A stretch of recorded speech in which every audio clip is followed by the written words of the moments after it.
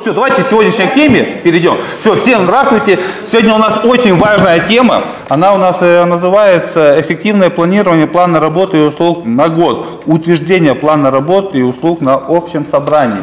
Папка председателей, да, здесь приложение, если 23, да, приложение 23.1. Я вам целиком, как лекция и идет, я вам ее скинул, чтобы вы ее слушали, то есть уже дома прочитали, если что, будет время свободное, вот.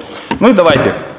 То есть э, в части 1 статьи 45 жилищного кодекса сказано, да, что собственники помещений в многоквартирном доме обязаны ежегодно проводить годовое общее собрание собственных помещений в многоквартирном доме. То есть это не право, а обязанность. Да? То есть, и смысл пункта 17 правила 491, это правило содержания общего имущества, мы понимаем, для чего собственники помещения обязаны ежегодно проводить годовое собрание. Для того, чтобы утвердить на общем собрании перечень работ услуг, оказания их выполнения, оказания их, то есть условия их оказания выполнения, а также размер финансирования. То есть, проще говоря, должны собственники утвердить годовой план работы и услуг на год.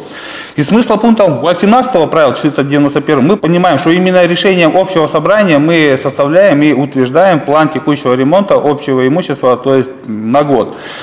Никаких заявлений, то есть с подписями собственников помещения о ремонте быть не должно. Если даже все собственники помещения, как я говорю, напишут заявление в управляющую организацию, да, допустим, как у меня, э, ко мне часто обращаются жители, говорят, Алексей, мы написали, мы писали, что нам там что-то нужно отремонтировать, что нам детскую площадку э, нужно сделать, парковку, ну что-то нужно сделать, какой-то текущий ремонт. Говорит, мы писали, писали, а, а результата нету. И я всем говорю, даже если вы подадите в суд, то что управляющая организация не выполняет ваше заявление, да, обращение, она выиграет, знаете, она может вы, вы, выкинуть ваше заявление в суде, потому что в законе четко сказано, текущий ремонт осуществляется либо по решению общего собрания собственного помещения многоквартирного дома, либо в установленных жилищным кодексом случае, да, по решению совета дома, да, если совет дома наделен соответствующим полномочиями. Мы это полномочие в первое организационное собрание, мы его включили сразу, совет дома как бы наделили. То есть никаких заявлений, ничего. Да? То есть порядок и правила проведения собрания тоже, это все есть. И сегодня мы разберем, как правильно планировать план работы и услуг. Да. ТСЖ, правление ТСЖ, да? Если тут совет дома, то ТСЖ правление, да? Ну да, у вас правление. У вас орган управления домом, глядите, на первом месте всегда высший орган управления домом, любое, просто дом, просто ТСЖ, ЖСК, это общее собрание вот, членов. На втором месте это совет дома либо правление, да, то есть э, ТСЖ ЖСК. На третьем месте есть член правления, да, там председатель, там председатель. То есть... сделать дверь и уменьшаем управление. Делаем? Нет.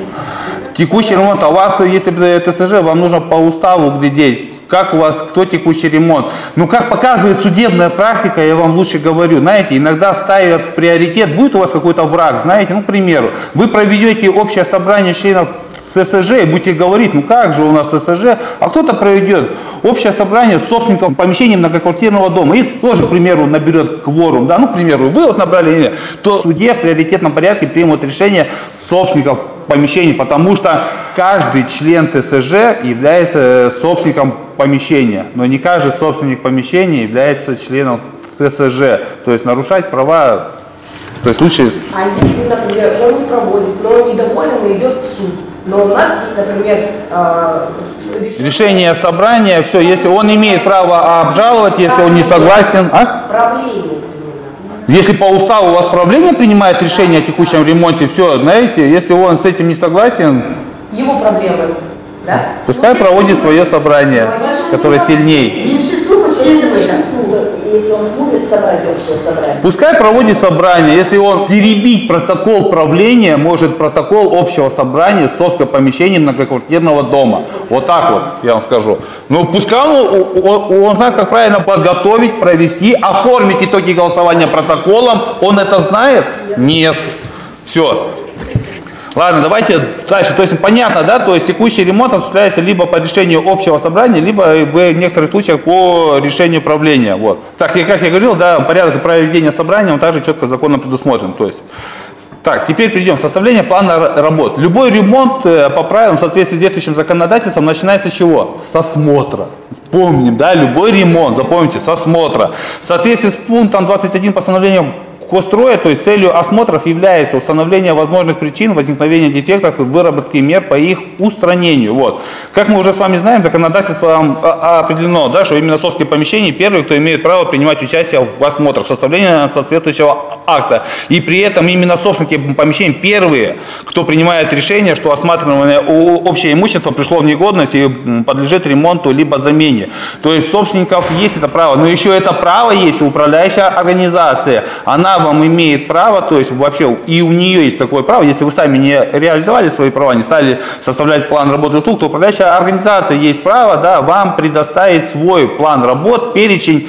И все-таки так как у нас управляющая организация лицензированная вид деятельности, да, у нее должны быть и инженера с соответствующим образованием, все-таки какое-то знание у них имеется по обслуживанию жилищного фонда. И совсем пренебрегать рекомендациями управляющей организации, что не надо красить, да, надо ремонтировать вентиля. Ну, это и разумно, да, что надо что-то делать первоначально, то есть не надо, то есть лучше все-таки иногда слушать, потому что управляющая организация все-таки там э, люди со знаниями. Вот.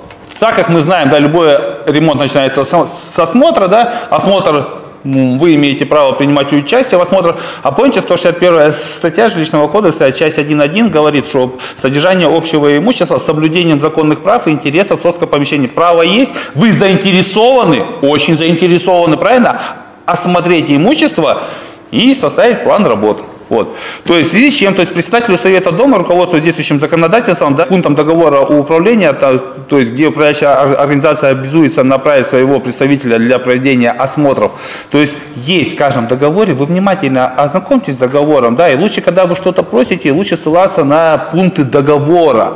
Потому что одно из условий, что вы в любое время можете расторгнуть с ними договор, да, это нарушение условий договора. Вот, соответственно, лучше в своих заявлениях, обращениях ссылаться на какие-то э, пункты договора. В основном управляющая организация в договоре указывает то, что она направляет своего, своего представителя для проведения комиссионного осмотра по вашим заявкам, то есть все, вам как бы нужно, то есть пригласить, да, то есть руководствуясь нормами закона, э, договором управления, пригласить инженера или просто уполномоченного представителя управляющей организации для проведения комиссионного осмотра общего имущества э, вашего многоквартирного дома, да, и то есть и укажите, что этот осмотр вам нужен, для составления плана работы и услуг на следующий год. Ну, либо на этот год, неважно, когда вы уже хотите реализовать свои права, да, провести годовое собрание, может уже год уже начался, не дает вам, то есть это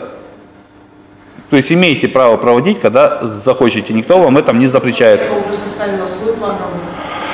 Она составила, понимаете, свой план работы, но все равно установленный и ваш план работ, скорее всего, будет более. Я не уверен, что она его составила в соответствии с требованиями, проводила осмотр с вашим участием, да, либо хотя бы должна кого-то пригласить, да. В последнее время они любят, знаете, вот таких, я видел, распишись. А какая разница, пока вы не избрали председателя совета дома, совет дома, пока вы ничто это не сделали, они могут любого человека Ладно, то есть вы приглашаете управляющую организацию для проведения комиссионного а, осмотра с составлением, а, а, с составлением акта. Акт составляется в двух экземплярах. Может быть э, копия снята, да, но оригиналы подписей должны стоять на акте, то есть на обоих. Во время осмотра э, нужно советом обойти весь дом и составить а, а, акт, в котором вы указываете самые больные места дома. Да? То есть, э, как я говорил, первым делом смотрим на инженерные коммуникации, да, на жизненно важные трубы. Как я всегда говорил, по обшарпанному подъезду ходили 30 лет и будут ходить. А не дай бог с розливом холодной воды что-то лопнет, через час, сидя без холодной воды, они вас едят. Честно говорю, съедят все. Вот.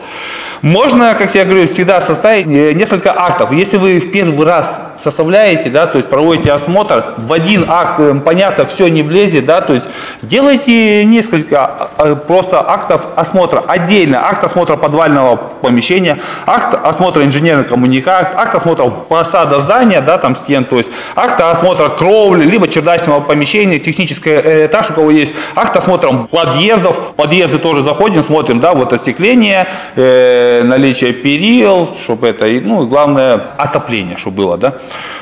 То есть э, дворовой территории можете составить, да, то есть все-все, то есть может э, составить как бы несколько актов по разным ситуациям.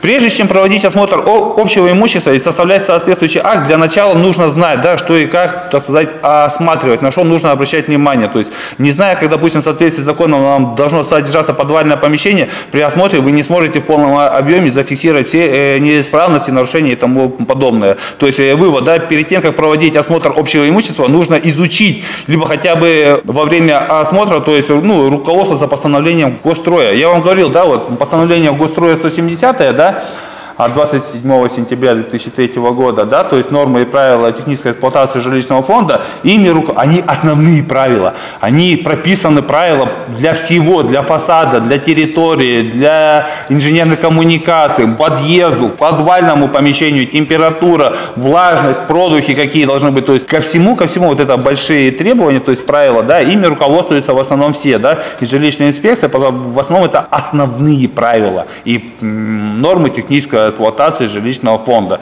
в том числе и всего-всего. И как я вам говорил, принцип, да, то есть люди после моих занятий, да, попросили, то есть пригласили инженеров технадзора на юбилейный 2, корпус 2, да, говорит, Алексей, просим тебя поприсутствовать, вот я пришел, да, и когда они все убежали в подвальное помещение, я им говорю, вы куда, идите сюда. Приходят глазами, Алексей, что ты назвал? Я говорю, наша цель, цель осмотров выявить несоответствие обязательным требованиям. Да, а подвальное помещение осматриваем, то мы должны знать, да, какие обязательные требования постановлением госстроя с санпинами, э, ГОСТами где-то, да, то есть, может, правила благоустройства, наше решение городской думы, да, там, там что-то, мы про дворовую территорию, когда смотрим. То есть, надо знать все э, нормы и правила, чтобы найти 10 различий. Вот, не будете знать, ко мне как-то обращаются одни э, подрядная организация, когда мы организовали, создали управляющую организацию, приходит ко мне и говорит, Алексей, мы работали у тех, у тех, у тех, да, мы хотим с вами работать. Я говорю, что вы можете делать? Мы можем ремонтировать кровлю делать, ремонт подъездов делать. Я их завожу к себе во второй подъезд, у меня там хороший ремонт. Я говорю, ну вот такой ремонт вы сможете сделать?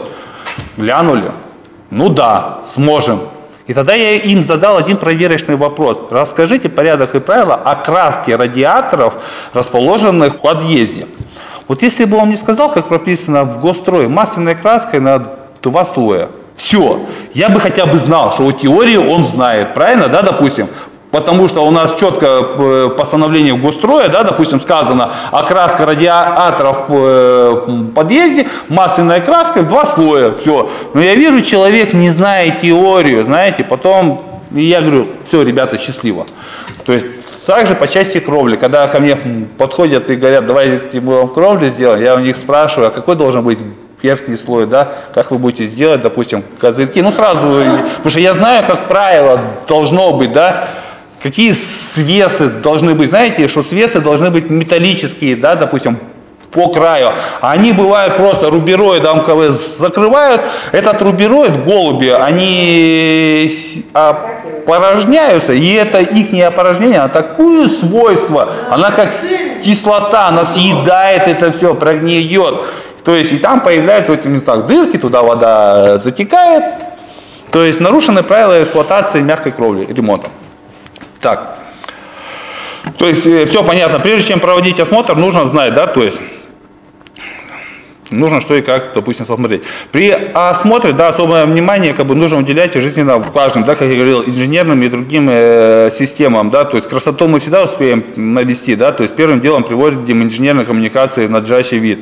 Вот, как часто бывает, у кого-то по стояку идут ремонтные работы, без воды весь дом сидит, да. Я у себя эту проблему первым делом решил. Э, это значит, что на каждом стойке вентиль, вентиль просто в нерабочем состоянии, понимаете? Ну, составьте акт, составьте, запишите в акте, что сколько вентиля, желательно специалиста, который бы знал, какой там диаметр вентиля. Я у себя просто пригласил инженера грамотную, то есть у нас работала когда-то грамотный специалист работали, и инженера технадзора, который в этом разбирается, она четко мне, мы прошли, сказали, в акте указали, сколько вентилей, какого диаметра, где на ХВС, на ГВС, да, допустим, мы это все указали. То есть эти вентиля желательно менять. Вот, потому что без воды, когда все, а знаете, еще такая ситуация есть, когда дом сбрасывают целиком, завоздушиваются, и полотенцесушители потом завоздушиваются, да, то есть э, приходится и потом стравливать, то есть лишние проблемы. Это лучше один стояк сбросить, его потом прогнать, все. Еще вот попутно. Полотенцесушители летом должны быть теплыми? Смотрите, какая ситуация. Почему нет?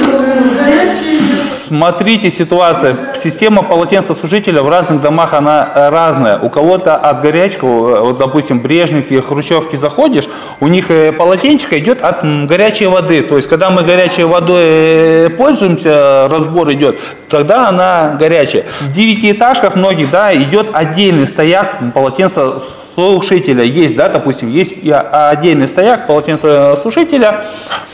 Ситуация вот такая.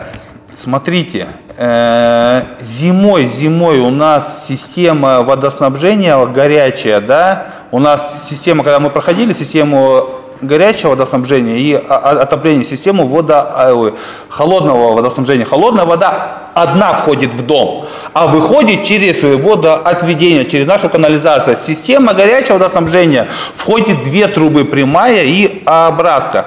Когда в основном полотенцесушителя с горячей водой, они сверху, они перемыкаются, то есть, э, ну, где не отдельно, вернее, где не от горячей воды полотенчика, где отдельный стояк, они с, поло- с горячей водой на девятом этаже пересекаются, да, и в основном мы там воздух стравливаем.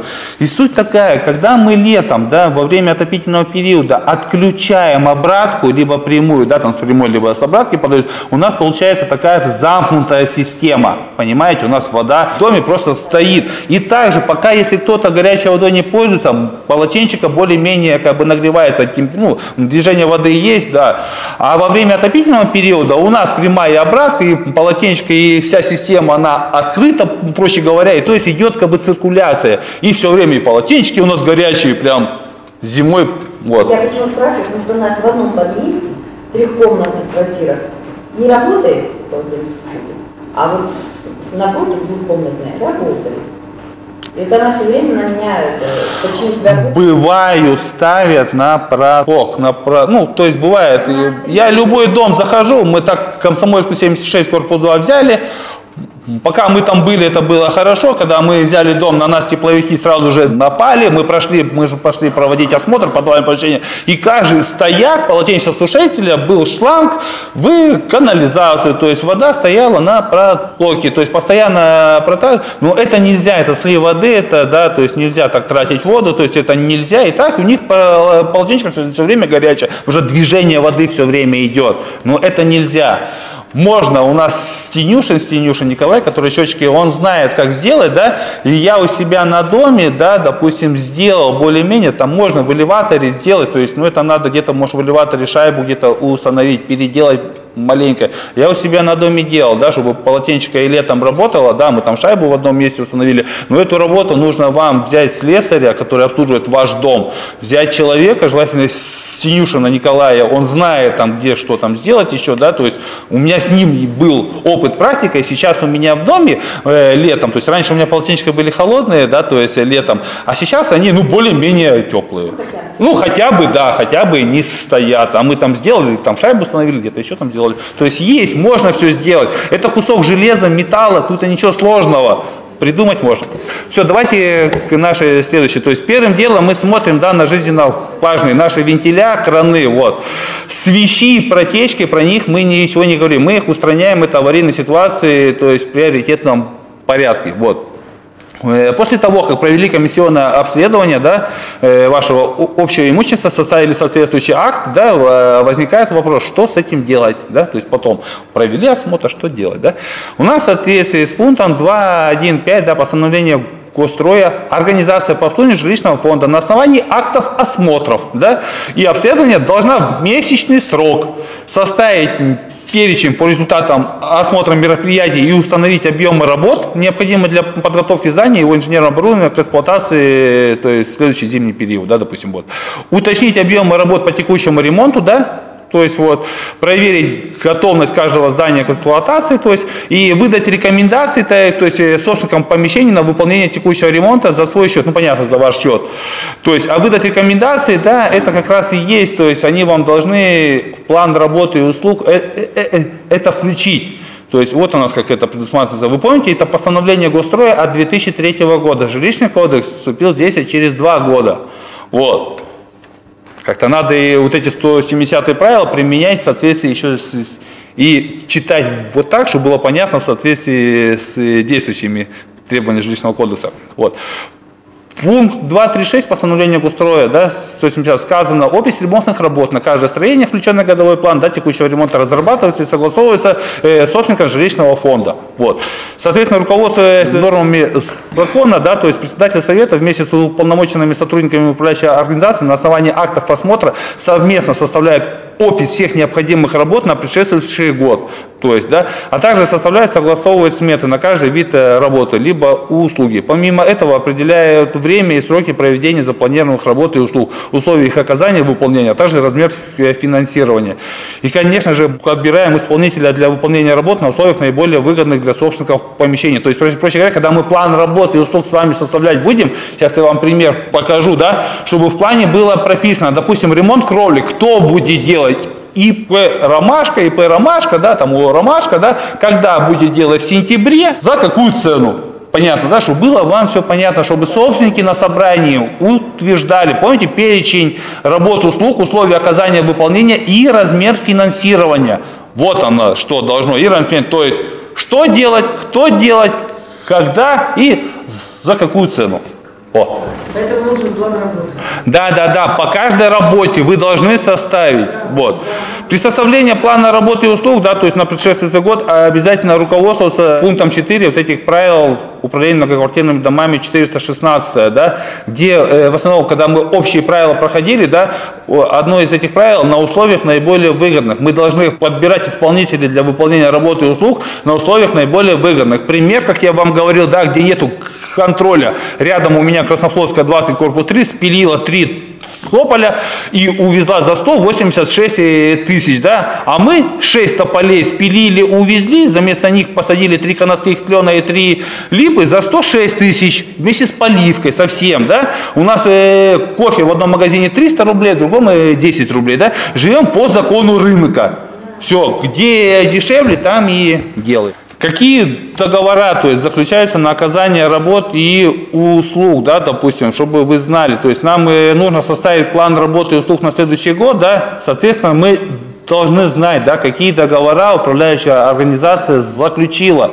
Мы когда с вами проходили первый запрос, да, мы там это указывали, мы запрашивали у управляющей организации информацию по всем договорам на оказание услуг и работ с их стоимостью, да, если мы услугу дворника либо уборщицы запрашивали, да, то вы помните, площадь убираемой территории, то есть все, всю необходимую информацию мы у них запрашиваем. Вот, они вам должны...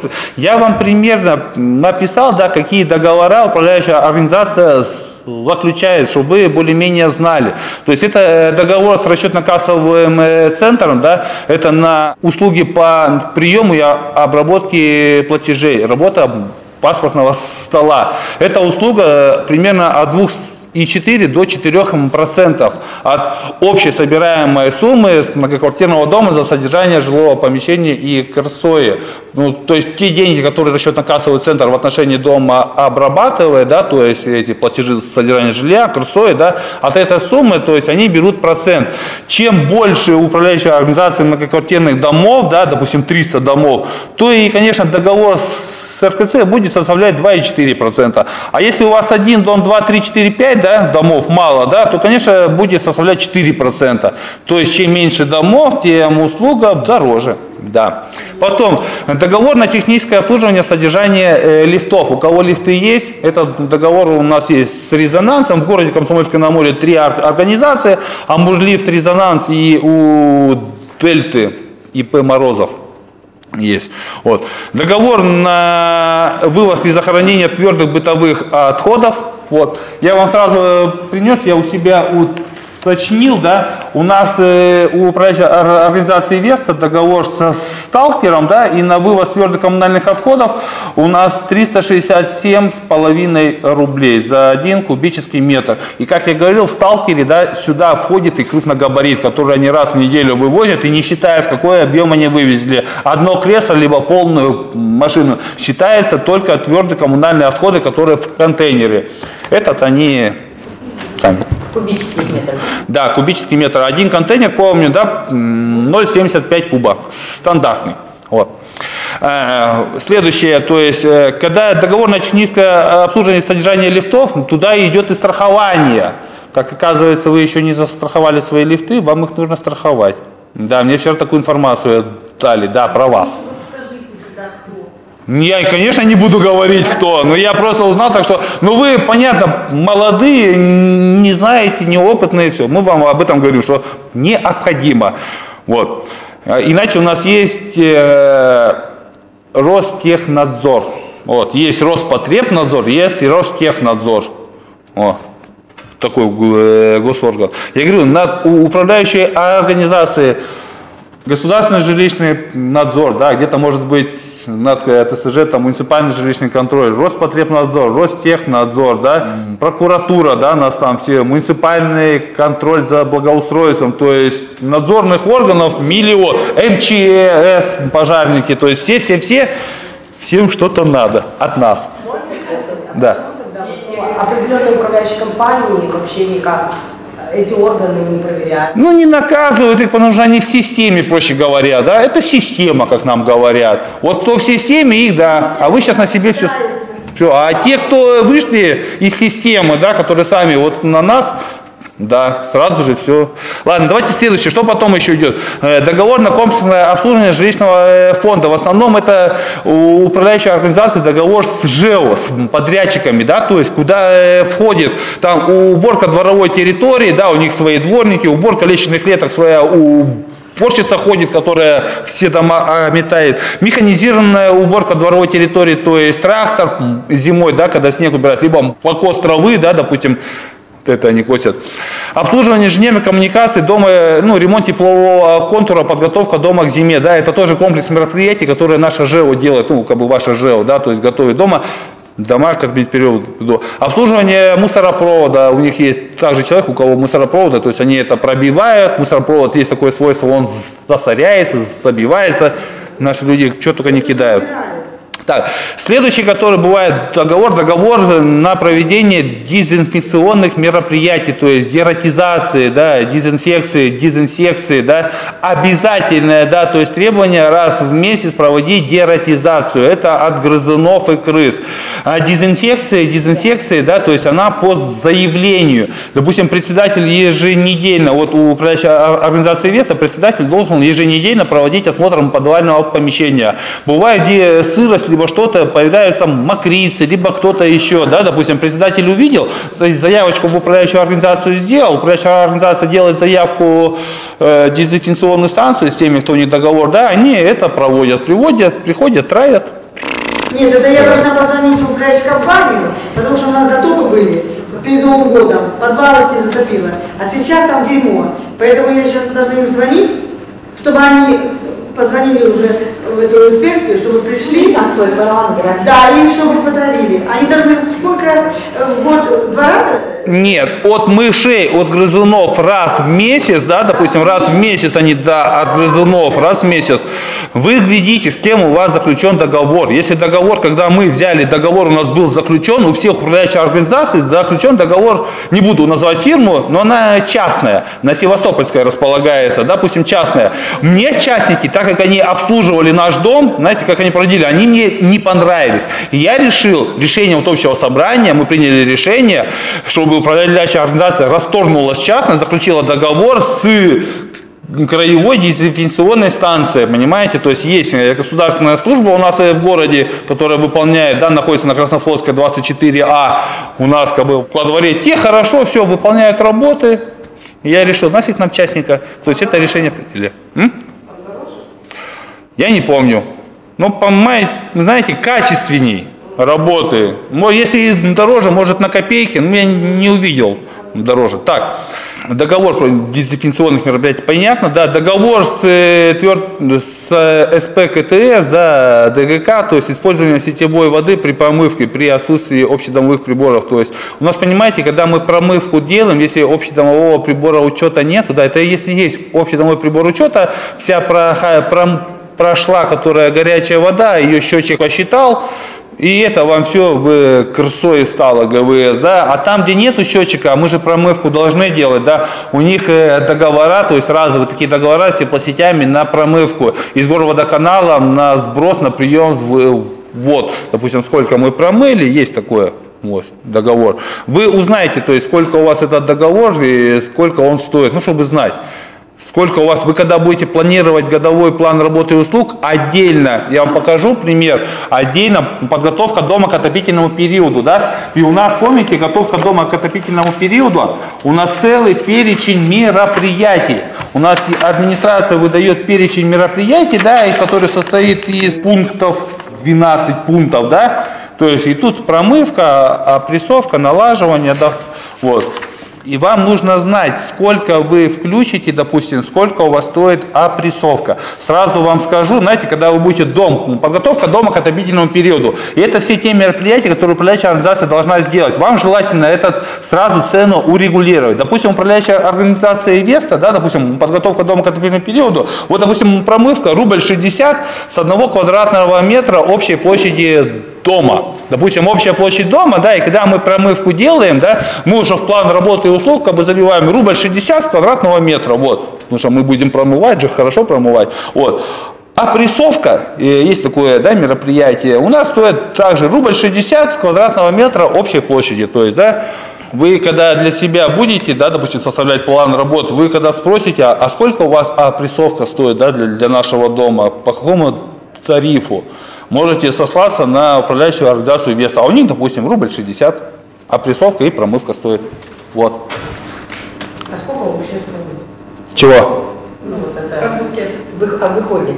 Вы же рубль 60 Площадь. С общей площади многоквартирного дома. Вот у меня общая площадь 3893, там 4 квадратных метра. Я умножаю на рубль 60, да, это площадь. Эта работа у меня стоит промывка и такая же сумма опрессовка. Потому что я когда годовой план работы и услуг составляю, подготовка дома, когда- мы же промывку, опрессовку управляющей организации ТСЖ, ЖСК сдаете теплосетям, они не приходят, у вас ее проверяют, пломбу вешают, да, они же все проверяют это, то есть, и эти работы вы однозначно будете делать. И с вас однозначно будут за них это. А там еще и ремонт э, вентилей, э, утепление теплового контура, остекление. Ну, у нас целый план мероприятий.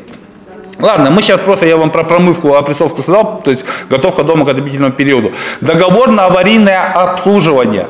Мы знаем, да, то, что у управляющей организации есть договор на аварийное обслуживание. То есть вы, когда в первом запросе спрашиваете, а сколько стоит аварийное обслуживание, нам же надо в план работы и услуг это включить, да, это же необходимо. То есть у управляющей организации Веста, да, скажу, рубль 82 за один квадратный метр общей площади дома. То есть, как я говорю, если общая площадь 3000, ну, 4000 м, квадратных метров, да, умножаем на рубль 82, да, это и входит э, стоимость аварийно-диспетчерского обслуживания. Что сюда входит?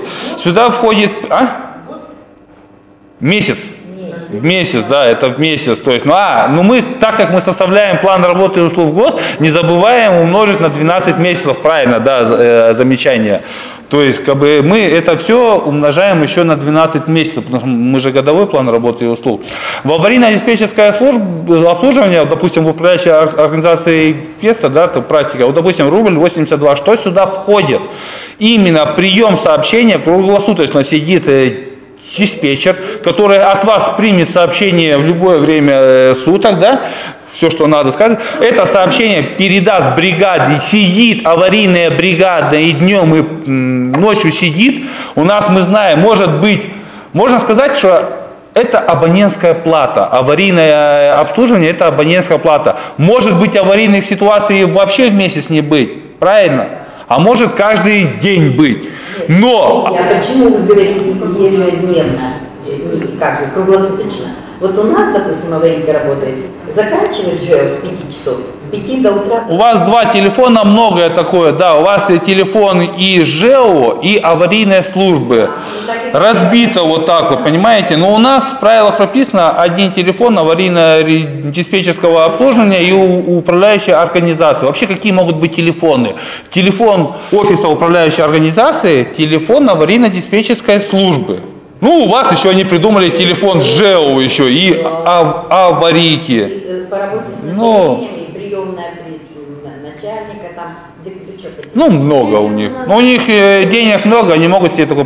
У нас один телефон, аварийно-диспетчерская служба, который работает круглосуточно. Да, то есть он в любое время. Да, у нас э, телефон, один телефон. Бывает, у нас распространяют слухи, например, наше управление, что у Слабова нет аварийной службы. Почему? Аварийная служба, у нас телефон 30, э, 20, 20. Еще требования к аварийной службе. Должна быть запись телефонных разговоров, да, допустим. То есть это все должно быть. Потому что кто-то вредный пожалуйста в прокуратуру, допустим, да, либо куда-то скажет, а просим вас проверить на соответствие требованиям аварийно-диспетчерской службы. А там одно из требований, да, что запись телефонных разговоров. И вот э, прокуратура нам сделает запрос. А представьте, пожалуйста, запись телефонного разговора, который был сделан такого-то числа, жителям такого-то, входящий такой-то, э, приняла такая-то в такое-то время, да, и мы его предоставим, да, действительно, как человек звонил. Я не знаю, а про нашу мы слушаем, слушаем. Так разговаривают, как будто ты разговариваешь непрофессионально. вообще. Мы, мы на наших занятиях не обсуждаем, как работают ваши проекты. Мы вам говорим, как оно должно быть правильно. Запись? Когда я включаю, например, свою запись, я говорю, они разговаривают совсем. Смотрите, должен быть еще в обязательном порядке журнал учета записей. И управляющая организация по первому требованию любого собственника должна вас ознакомить с этим э, журналом. У вас есть такое правило, и в правилах по 416 правила управления домами у вас это правило прописано. И когда у нас, допустим, прокуратура, либо жилищная инспекция проводит проверку, допустим, человек обращался, они же как э, пишут, я не вот, однократно обращалась, не реагируют, хотя не говорит, когда, да, и у нас э, жилищная инспекция запрашивает э, журнал приема сообщений, который мы снимаем копии и предоставляем, какие именно были сообщения сделаны, и эти сообщения также дублируется запись раз- телефонных разговоров, да, допустим, у нас все есть, то есть должны представить. Смотрите, что входит в аварийно-диспетчерское обслуживание. Не знаю, как у кого, но в управляющей ор- ор- организации Вестов это рубль 82. То есть в любое время суток диспетчер принимает от вас сообщение, передает в аварийную бригаду, которая днем и ночью в машине сидит и по закону должна в течение 30 минут с момента приема сообщения, когда вы подали, приехать на место аварии и устранить аварийную ситуацию, то есть хотя бы минимум перекрыть воду. И вот в этот рубль 82 и входит прием работа диспетчера она приняла выезд бригады к месту аварии в течение полчаса и перекрыть, то есть открыть дверь в подвал, включить свет, зайти к стояку, отключить э, воду, выйти из подвала, выключить свет, закрыть за собой замок. Вот, это минимальное. Вот. Но так как мы знаем, да, что аварийная бригада, она еще и должна выполнять заявки жителей, да, и все-таки производить ремонт инженерных сетей, а вот уже сам ремонт сетей, да, сам ремонт, да, он уже, конечно, платный, потому что там а, может быть и вентиль какой-то надо, и участок трубы, неизвестно какой придется менять, да, либо э, полметра, либо 5 метров, так как у нас трубы все гнилые, ржавые, да, приходится аж отрезать участок. То есть, а вот текущий ремонт, это уже, понятно, с советом, с председателем мы обговариваем. То есть, сама аварийно-диспетчерская служба, это как абонентская плата аварийной службы. Она может, вы можете обращаться, а можете, и они месяц сидят, но люди сидят, ждут, Соответственно, мы должны оплатить. Все, давайте следующее. У нас следующее э, аварийное обслуживание мы отняли, то есть договор с ресурсно-снабжающими организациями на оплату КРСОя. Мы знаем, да, что у нас управляющая организация обязана заключать договора с ресурсно-снабжающими организациями на предоставление и оплату этих коммунальных ресурсов на содержание общего имущества. У каждой управляющей организации с ними был договор, да. То есть и вот как раньше я вам говорил, да, до того, пока постановление правительства 92 не вступило в силу с 1 сентября ну, того года, 23 да, и когда сверхнорматив на Корсое на жителей не стали перекидывать, да, то есть любое ТСЖ, ЖСК, да, когда и мы, управляющая организация, мы этот Корсое сверх как бы, норматив мы брали с текущего ремонта. И как я на своем примере говорю, на горячей воде я людям выставил на 3 600, а мне Русгидро 18 тысяч, 28 тысяч, да, говорю, а откуда? Это вот неучтенно временные, да, то есть были. Сейчас весь сверхнорматив на вас перекидывают. Все, ладно, давайте следующее. Э, договор на страхование общего имущества, да, то есть это по желанию, то есть жителей, но лифты обязательно, мы знаем, да, то есть договор на специализированной организации на обслуживание внутридомового газового оборудования, да, то есть у нас газифицированные дома, то есть управляющая организация обязана заключать договор со специализированной организацией, которая имеет на это соответствующие лицензии и разрешения, да, то есть договор на обслуживание внутридомового газового оборудования оборудования. Потом договора на обслуживание общедомовых приборов у учета коммунальных ресурсов. Такая же ситуация, да, допустим, где общедомовые приборы у учета стоят, да, управляющая организация должна заключать договора на обслуживание этих счетчиков. Вот. И как я вам говорил, да, на холодную воду, вот я на своем доме установил, посчитал и не стали людям на собрании объяснил. Люди, либо мы включаем годовой план работы и услуг 25 тысяч ежегодно на обслуживание этого счетчика, еще плюс мы должны были отдельно раз там в 3 года, в 4, не помню сколько, осуществлять проверку этого счетчика платно, да, то есть этот счетчик не идет расходы. Либо управляющая организация КРСОИ будет оплачивать с повышающим коэффициентом. И разница, мы там пере, мы с вами либо 3 тысячи заплатим, либо мы 25 тысяч в год. И проще говоря, знаете, эти общедомовые, то есть холодная вода у нас не дешевая. Да, это незаконно, должна, но выгодно экономически для людей дома общедомовой прибор учета по холодной воде не вводить в эксплуатацию, не осуществлять по нем расчет. Легче по повышающему коэффициенту это красой оплачивать. За свое индивидуальное потребление вы же по счетчику платите. Вот. А если счетчика нет, то вы уже по повышающему. Вот так вот. Так, могут заключаться дополнительные договора с определенными подрядчиками на определенные виды работ, да, то есть ремонт кровли, как я говорил, да, да, там с кем-то, да, обрезка деревьев, да, кошение травы, то есть если что-то, ну, бывает такое, с кем-то заключаются договора. Так.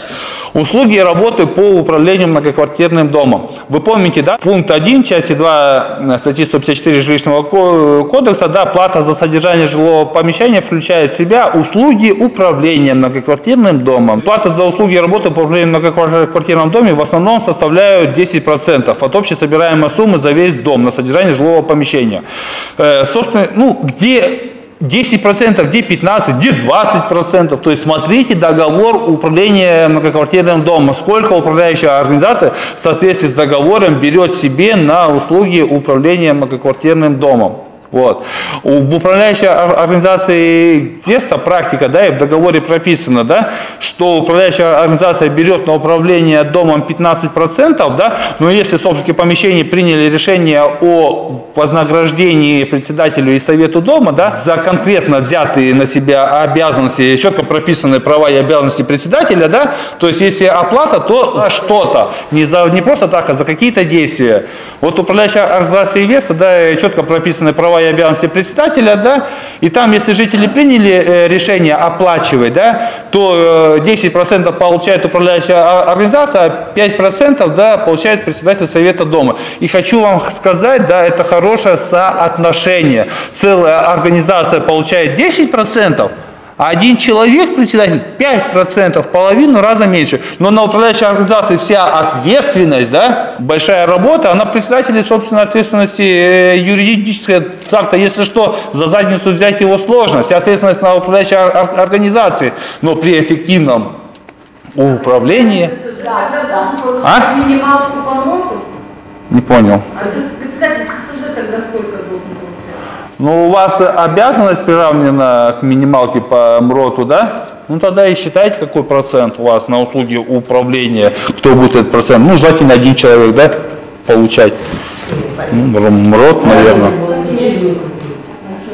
А вознаграждение председателю? Ладно. Алексей, а вот процент на оплату по управлению домом, это обязательно условие договора должен быть прописано обязательно? Не понял. Вот этот процент, когда отчисляется на управление домом, это должно быть обязательно в договоре прописано? Желательно это прописать, устаканить. Любые деньги – это деньги, любую копейку, да, то есть копейка рубль перейдет. Мы должны каждую, каждую графу расходов, доходов. Не понял. Обязательных требований нет? Нету, кто сколько захотят 50% установят. Но это ваше право, знаете, вот э, устанавливать.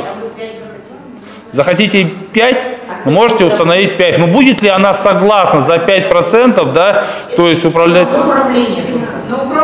Что входит в э, управление многоквартирным домом? Помните, мы с вами уже разбирали, то есть именно управляющая ор- организация это заключение, это организация работы с населением, прием тех же граждан. Это э, заключение договоров со всеми подрядными организациями, с тем же расчетно-кассовым центром. Договор э, заключить э, надо, надо. Договора со всеми подрядными организациями. Это проведение осмотра, да, плановые, да, то есть осенние, весенние. Это составление плана работы и услуг, предоставление его вам. То есть э, все те услуги управления. Свое она может делать только аварийную службу, либо заключить договор. Вот управляющая организация, что она может делать. Смотрите, немаловажная деталь. Управляющая организация, да, в основном может брать э, 10%, да, только содержание, с платы за содержание жилого помещения. Вот.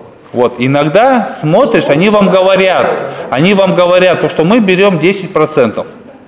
А когда отчет смотришь, они берут эти 10% еще из арендаторов. То есть они общую сумму с вас как бы собирают, арендаторов сюда, и с этой еще и берут как бы 10%. Нет.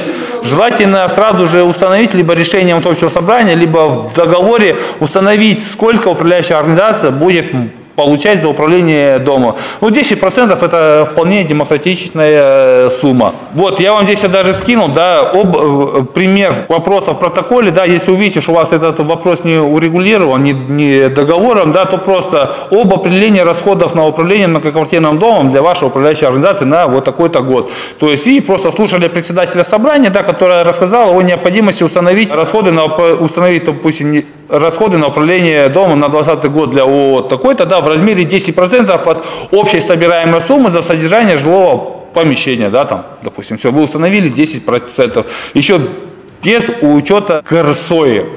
Помните, плата за содержание жил- жилого помещения включает в себя услуги управления, плата за текущий ремонт, да, услуги, текущий ремонт и услуги, то есть это, и плата за КРСОИ, вот. И то есть вы должны, то есть просто плата за содержание жилого помещения, да? Вы помните, кто у нас устанавливает размер платы за содержание жилого помещения, да? Либо собственники э, помещений, в соответствии с частью 7 статьи 156 жилищного кодекса, да? Размер платы за содержание жилого помещения устанавливается решение вот общего собрания. Либо, если вы его не установили, да, то в соответствии с частью 4 статьи 158 жилищного кодекса размер платы устанавливается органом местного самоуправления. И вот у нас администрация ежегодно да, издает постановление администрации города, которое устанавливает муниципальный тариф, расценки с категории с разбивкой для газифицированных домов, для негазифицированных домов. Есть мусоропровод, нет мусоропровода, есть лифты, нет лифтов, да, то есть со всеми этими, то есть для каждого. Вот у нас, например, да, у нас, допустим, э, Комсомольская 76, корпус 2 и вокзальная 37 корпус 2 по тарифу вот сейчас 27 рублей 22 рубля. Это в газифицированных домах без лифтов и мусоропровода. Есть, допустим, газифи- э, негазифицированные дома, да, без лифтов, будет без мусоропровода, самый маленький тариф 24 рубля 85 копеек, да. У нас, допустим, Краснофлотская 20, корпус 3, Кирова 26, лифты есть, от мусоропровода мы отказались. Один из плюсов, да, отказаться от мусоропровода, то размер платы снижается, да, и мы платим здесь 34 рубля 61 копеек. Есть дома с мусоропроводом и с лифтами, самое дорогое 36 рублей 98 копеек, да, но это в негазифицированном. Если еще и газифицированное, то было бы 39 рублей 35 копеек. Но у нас есть э, Мира, э, ой, э, Мира 10, да, как я вам говорил, да, то есть вот у них бы, они бы оплачивали если по городскому тарифу, да, у них газифицированный дом 27 рублей 22 копейки. Но они уже третий год платят 30 рублей. Они это, они это хотят. Но у них деньги есть, они хотят себе дорогие двери там по 100 тысяч, да, ну хотят. И они 30 рублей как установили размер платы, так и платят. Да. То есть э, провели общее собрание и избрали, что они повышают тариф. Они установили, не повысили, это ваше право, то есть вы имеете право установить размер платы. Я вам сейчас это покажу пример. Да, вот глядите, я вам сейчас пример, я вам так же как образцы пример. Э, 27 рублей 22 копейки за 1 квадратный метр общей площади жилого помещения. Общая, общая площадь жилого помещения складывается из всех ваших э, комнат, из вспомогательных помещений, да? Э, ваш коридор, туалет, ванна, э, кухня, за исключением лодж, балкон, веран, террас. А? Вот у меня квартира 60 квадратов, я умножаю на 27 рублей, это у меня получается... У вас газифицированный дом? Без мусоропровода, без лифта. Все, у вас действующий тариф на этот э, год 27 рублей 22, 22 копейки за один квадратный метр общей площади. Вот столько вы должны оплачивать в управляющую организацию за содержание жилого помещения. Месяц. Ну, оплату. Не-не-не-не-не. Плата за содержание жилого помещения включает в себя услуги управления, услуги всего-всего. Все, давайте следующее. Алексей Анатольевич, нет, подожди- подождите, вы нам подскажите, вот 27 рублей в год или в год? Месяц. Месяц. Вы ежемесячно, ваша обязанность нести расходы ежемесячно. До 10 числа ежемесячно вы должны оплачивать в размере 22 рубля 22, ой, 27 рублей 22 копеек за один квадрат э, общ- за один квадратный метр общей площади вашего помещения. Можно задать вопрос? Вот Смотрите, то есть 10 число, там накладывается премия или что? Содержание не может За просрочку платежей.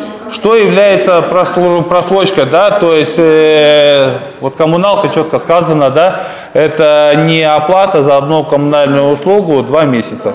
Все, является прослойкой. Там идет и пение, нет, за содержание жилья 1 трехсотая с 31 дня 1 трехсотая ставки рефинансирования, да, начиная с 31 числа просрочки, вот вы обязаны были до 10 не проплатили, да, то есть 11 числа следующего месяца, да, допустим, да, 1 трехсотая ставки рефинансирования банка, Центробанка, да, то есть этой ставки, а с 91 дня 1 120 ставки. О, за каждый месяц. Или за каждый день, за каждый день или в Пение.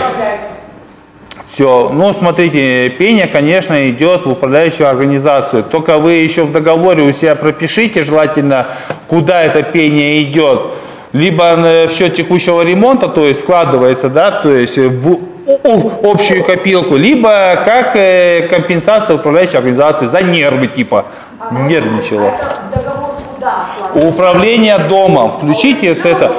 Вот э, у, у ТСЖ это у вас должно быть вот это урегулировано уставом, но у вас же не все члены ТСЖ, а с нечленами ТСЖ у вас должен быть заключен договор, вот, который вот это все прописывает. Желательно в договоре это указать. У управляющей организации Веста этот момент в договоре предусмотрен. Мы когда на на следующем занятии будем этот договор проходить, вы увидите. Ладно, давайте план работы и услуг. Я вам хотел э, показать э, сканный протокол да, планов работ. Вот, допустим, Сусанина 76. Мы проводили, допустим, в 2019 году э, годовой план работы и услуг на год. И какие здесь, ну, председатель, секретарь собрания и счетной комиссии это все время, да, и вот видите, об определении на основании части 7 статьи 156 жилищного кодекса размер платы за содержание жилого помещения и план работ. Я вам говорю под э, четвертый об определении, то есть размер платы. Ну, и, вот смотрите, здесь э, идут вопросы. Вот нам нужен какой вопрос? Вот, четвертый вопрос. Слушали совет многоквартирного дома, который предложил определить размер платы за содержание жилого помещения на 19 год, ну, на старый протокол, да, для собственников э, помещений в размере установленном постановлением администрации города, да, то есть как для негазифицированного, без лифтов и мусоропроводов. А для собственника нежилого помещения отдельно. Помните, я вам показывал у вас э, в папке председателя, председателей есть э, план схема дворовой территории, схема дворовой территории по Сусанина. Вот, где у них за собственником нежилого помещения закреплена часть территории, которую он обязан убирать. Проще говоря, собственник нежилого помещения в этом доме, он не пользуется, у него свой дворник, который убирает, то есть мы отнимаем от его тарифа уборку дворовой территории, уборку лестничных клеток, э, вывоз твердых коммунальных отходов, потому что у него свой, то есть те услуги, которыми он не пользуется. И тариф для него, конечно, чуть меньше. Вот. Но это с учетом, если жители приняли такое. Если жители не приняли для собственника нежилого помещения такой тариф, то у нас жилищный кодекс не делает разграничений да, между собственниками жилыми либо нежилыми. Один тариф для всех. Если вы не приняли решение, а? Если приняли, то собственники нежилого обязаны подчиниться, правильно? решению общего собрания, но тариф должен быть обоснован, понимаете? То есть, если еще, понимаете, у нас закон защиты прав потребителей используется при управлении домом, а там сказано, что собственник не должен оплачивать те услуги, которые он недополучает. Если он уборку лестничных клеток, которые он же ее не получает, но не свой, отдельный вход. Соответственно, зачем я за нее платить буду? Потом, э, вывоз твердых коммунальных отходов, да, допустим, я ее, у меня свой договор, я э, вывожу, он это предоставит. Если он вашей мусоркой э, пользуется, тогда не исключаем из тарифа. Теперь давайте план работ. Мы с вами сейчас э, прошли, какие договора вы теперь знаете, да, примерно управляющая организация как бы заключает вам какую информацию надо при составлении плана работы и услуг на год. Теперь планирование самого плана работы и услуг на год. Для того, чтобы более эффективно распланировать план работы и услуг на год, для начала нужно знать, сколько денег собирается с вашего дома всего, да, допустим, это за содержание жилого помещения, ну и на капитальный ремонт, да, от, от, и от сдачи в аренду общего имущества. Нужно все знать. То есть рассчитать очень просто. Берем общую площадь всех жилых и нежилых помещений вашего многоквартирного дома и умножаем на тариф, определенный для данного типа жилья. Вот, то есть Тариф берем постановление администрации города. То есть берем общую площадь вашего дома, которая состоит из суммы площадей всех жилых и нежилых помещений. Не вот ту общую площадь, где наши лифтовые шахты, подъезды, площадь подвального помещения, э, тех этажа нет, не эту, а именно ту общую площадь дома, которая состоит из общей площади всех жилых и нежилых помещений. На ту площадь, которую производится начисление платы за, содерж... да, платы за содержание жилья. Мы же лестничным клеткам квитанции не выставляем, это все общее имущество. Вот. То есть, что? Мы можем же, если решит э, общее собрание собственников, поднять.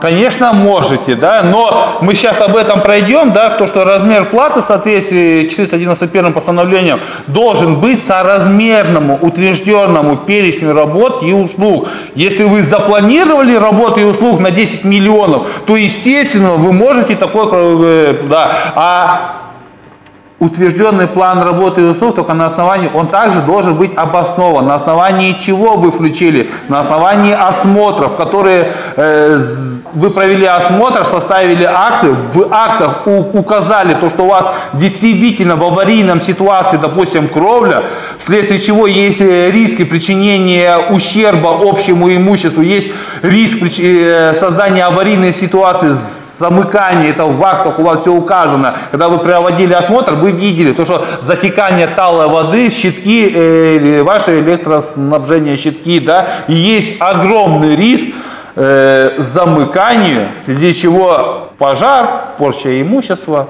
ну и все в этом роде. То есть у вас это действительно, а аварийные заявки, как мы знаем, выполняются немедленно. Так что вам действительно э, нужно. А так как вы должны за свой счет все сделать. И помните, мы сегодня такую фразу, такую в 170-м постановлении, управляющая организация должна вам, либо э, ТСЖ, выдать рекомендации, чтобы привести это, это за свой счет. Соответственно, вы сперва планируете план работы и услуг, а потом под эти необходимые работы вы должны установить размер платы.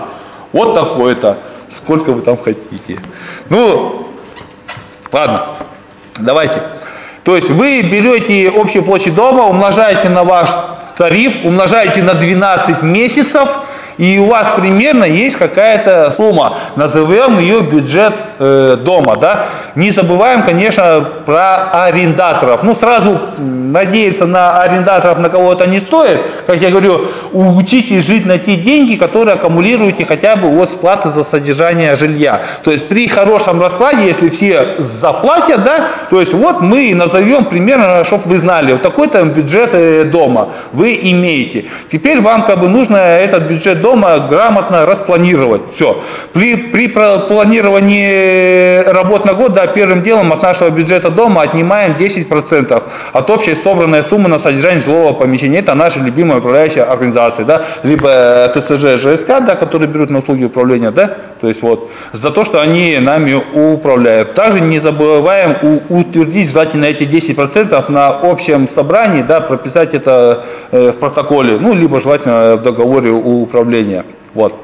Затем от нашего бюджета дома отнимаем основные договора, которые управляющая организация заключила для надлежащей эксплуатации обслуживания этого дома. Э, первый договор – это договор с расчетно-кассовым центром. Правильно? Квитанцию же кто-то вам э, печатает, да? Это договор у них, да? Узнаете, сколько процентов, да, допустим, по вашему дому, от 2-4 до 4 процентов, да, примерно, то есть отняли. Потом договор на техническое обслуживание и содержание лифтов, ну и на страхование, если есть. То есть узнаете у вашей управляющей организации, да, а вы же запрашиваете договора с подрядчиками, условия договоров и цену, они должны, вообще-то эту информацию они должны размещать на ГИС и ЖКХ. Ну, как правило, не размещают, хотя бы запросите у них. Вот. Да. Вы говорите договора. Вот, например, у нас аварийка стоит намного дешевле, чем обслуживание лифтов. А а. Смотрите, такая же ситуация. У вас, допустим, договор на обслуживание лифтов, и туда в договор входит аварийное обслуживание. То есть у вас лифтовой кнопка есть? Есть. У вас номер телефона есть? Есть, по которому вы в любое время круглосуточно можете звонить. И такая же ситуация, как с аварийкой. Могут кто-то каждый день в лифте прыгать, да? Или кабину шатает, а я слыхала вот так вот, да, как это кино, да, либо ничего не, не, не происходит. Также они могут к вам приезжать раз в месяц, ну, то есть раз, а могут вообще не приезжать, либо каждый день. Вот. То есть э, э, лифты смотрим. Потом договор на проведение дезинфекционных мероприятий, да, допустим, да, смотрим, с кем у вас как бы заключен договор, да, как я говорю, если с частником, да, то я, конечно, никого не, не это, но у вас здесь я, я все э, прописал, что у нас в городе есть частники, а есть вот э, краевая государственная, да, то есть есть. И Мое мнение, что нужно заключать договор с государственной либо муниципальной службой. У нас есть этот... Э, но ни в коем случае не призываю, это только мое личное мнение, да, не будем нарушать закон о конкуренции. Вот. Из ранее предоставленных отчетов вы видите, да, с кем у вас как бы заключен договор. И когда я был под управлением управляющей организацией, я Кирова 42, Кутузова Светлана Михайловна, Котовского 9, корпус 2, мы на собраниях, когда годовое собрание проводили, мы включили этот вопрос. Не хотим, чтобы нас частники обслуживали. Мы хотим, чтобы вы заключили договор с ними. И все. И потом этот частник ходит и про, про нас распускает слухи, что Алексей хочет их убрать. Да Алексей пытался с тобой навести взаимоотношения, когда их работники пришли, обслужили и ушли, а свет за собой не выключили. И тогда я звоню директору этой частной организации и говорю, говорю, ваши работники были, не выключили свет. Давайте, чтобы такого не было, я на них жалобу как бы напишу, а вы их привлечете, привлечете к ответственности. Я ничего не требовал, я просто хотел маленько наказать, чтобы был какой-то порядок, дисциплина. На что директор вот этой организации мне сказал, Ничего подобного, не будем, они ходят, они должны с ЖЭО уходить, ЖЭО должен следить. Я говорю, ну не было ЖЭО. Они, видно, может, ключи взяли, сами прошлись, свет не выключили. Нет. Я говорю, ну давайте встретимся. То есть не захотел со мной встречаться с собственником, с хозяином дома, понимаете, не захотел. Говорит, у меня договор с управляющей организацией, ты кто такой, там, председатель.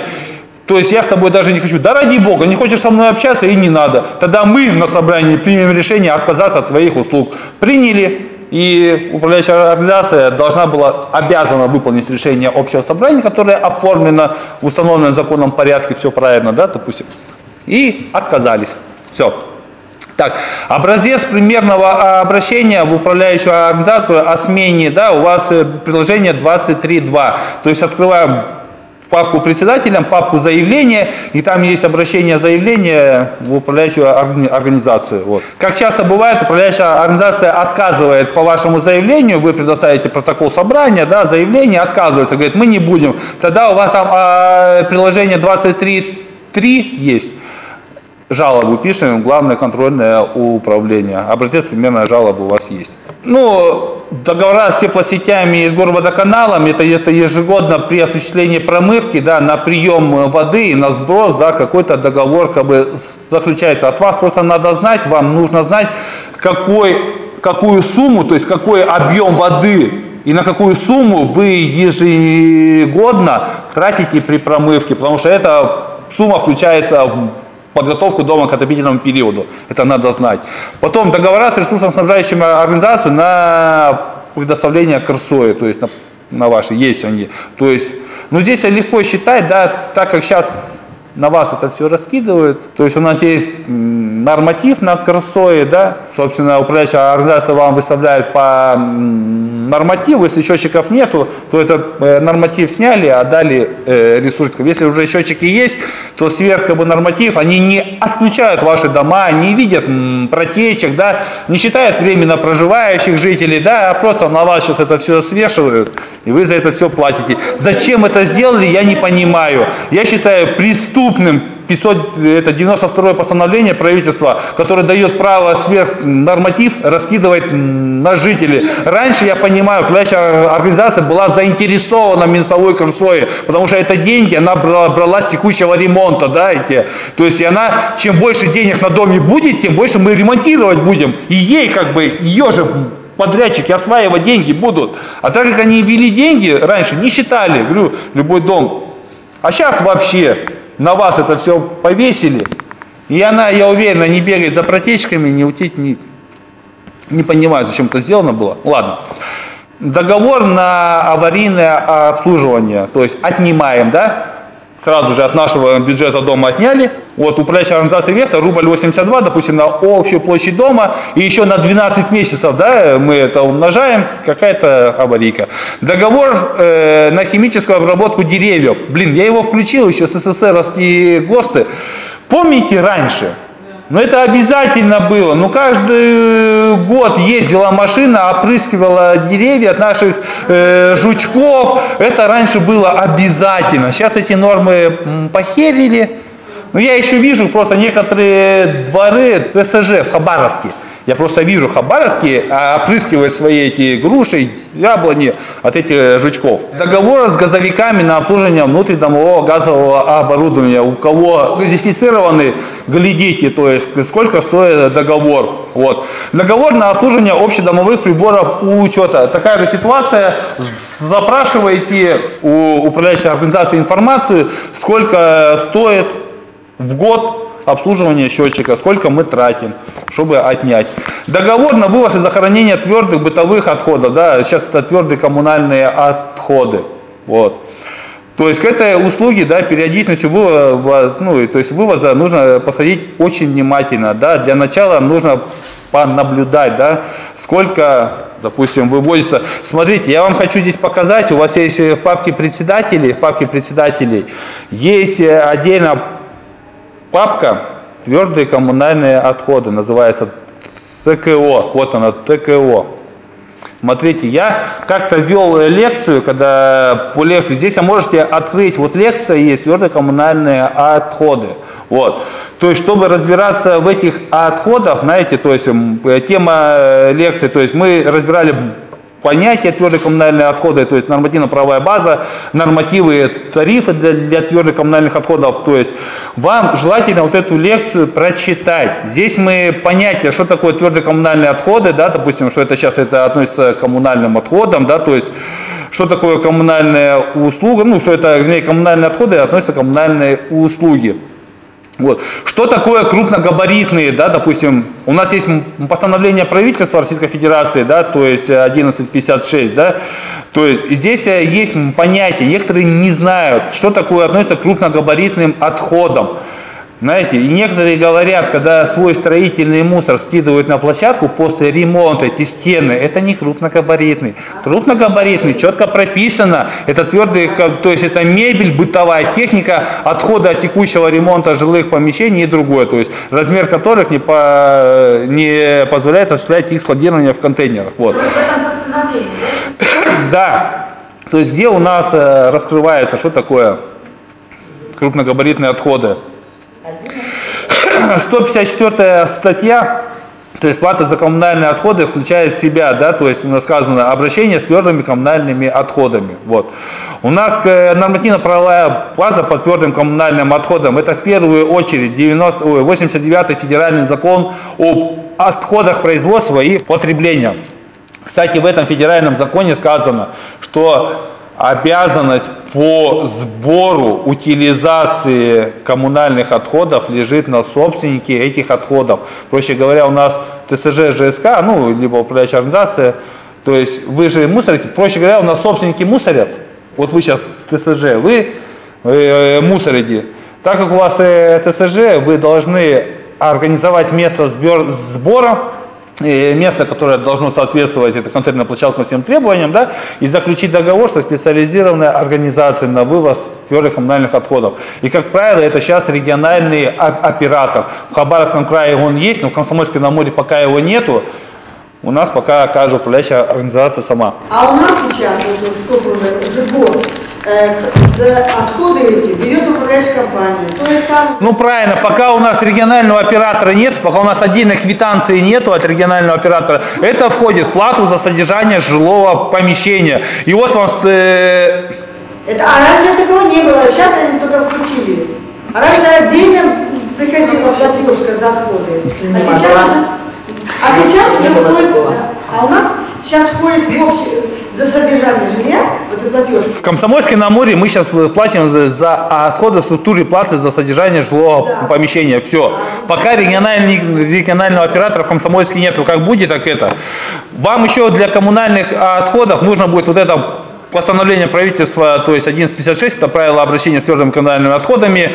Есть постановление правительства 505, правило коммерческого учета объема и массы твердых коммунальных отходов. Есть постановление правительства 354, да, это правило обращения, то есть есть федеральный закон 176, да, о внесении изменений в жилищный кодекс, там а, некоторые нужны, ну, то есть жилищный кодекс, санпины. Смотрите, э, нормативы и тарифы на твердые коммунальные отходы. У нас есть приказ Министерства жилищно-коммунального хозяйства, который устанавливает нормативы. И у нас именно для жилых домов уже по Хабаровскому краю имеются. Они, вот они, я вам установил для многоквартирного дома на одного проживающего. У нас установлено, к сожалению, на одного проживающего да, 22 квадрата, то есть либо в месяц, да, либо в год.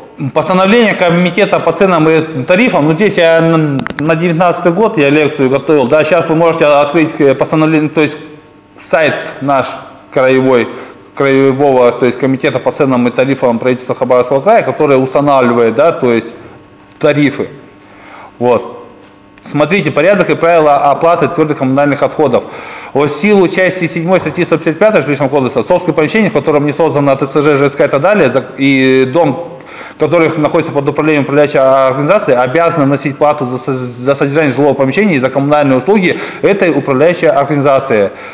Также напоминаю, да, что в соответствии с частью 4 статьи 154, да, то есть обращение с твердыми коммунальными от- отходами относятся к коммунальные услуги. Да.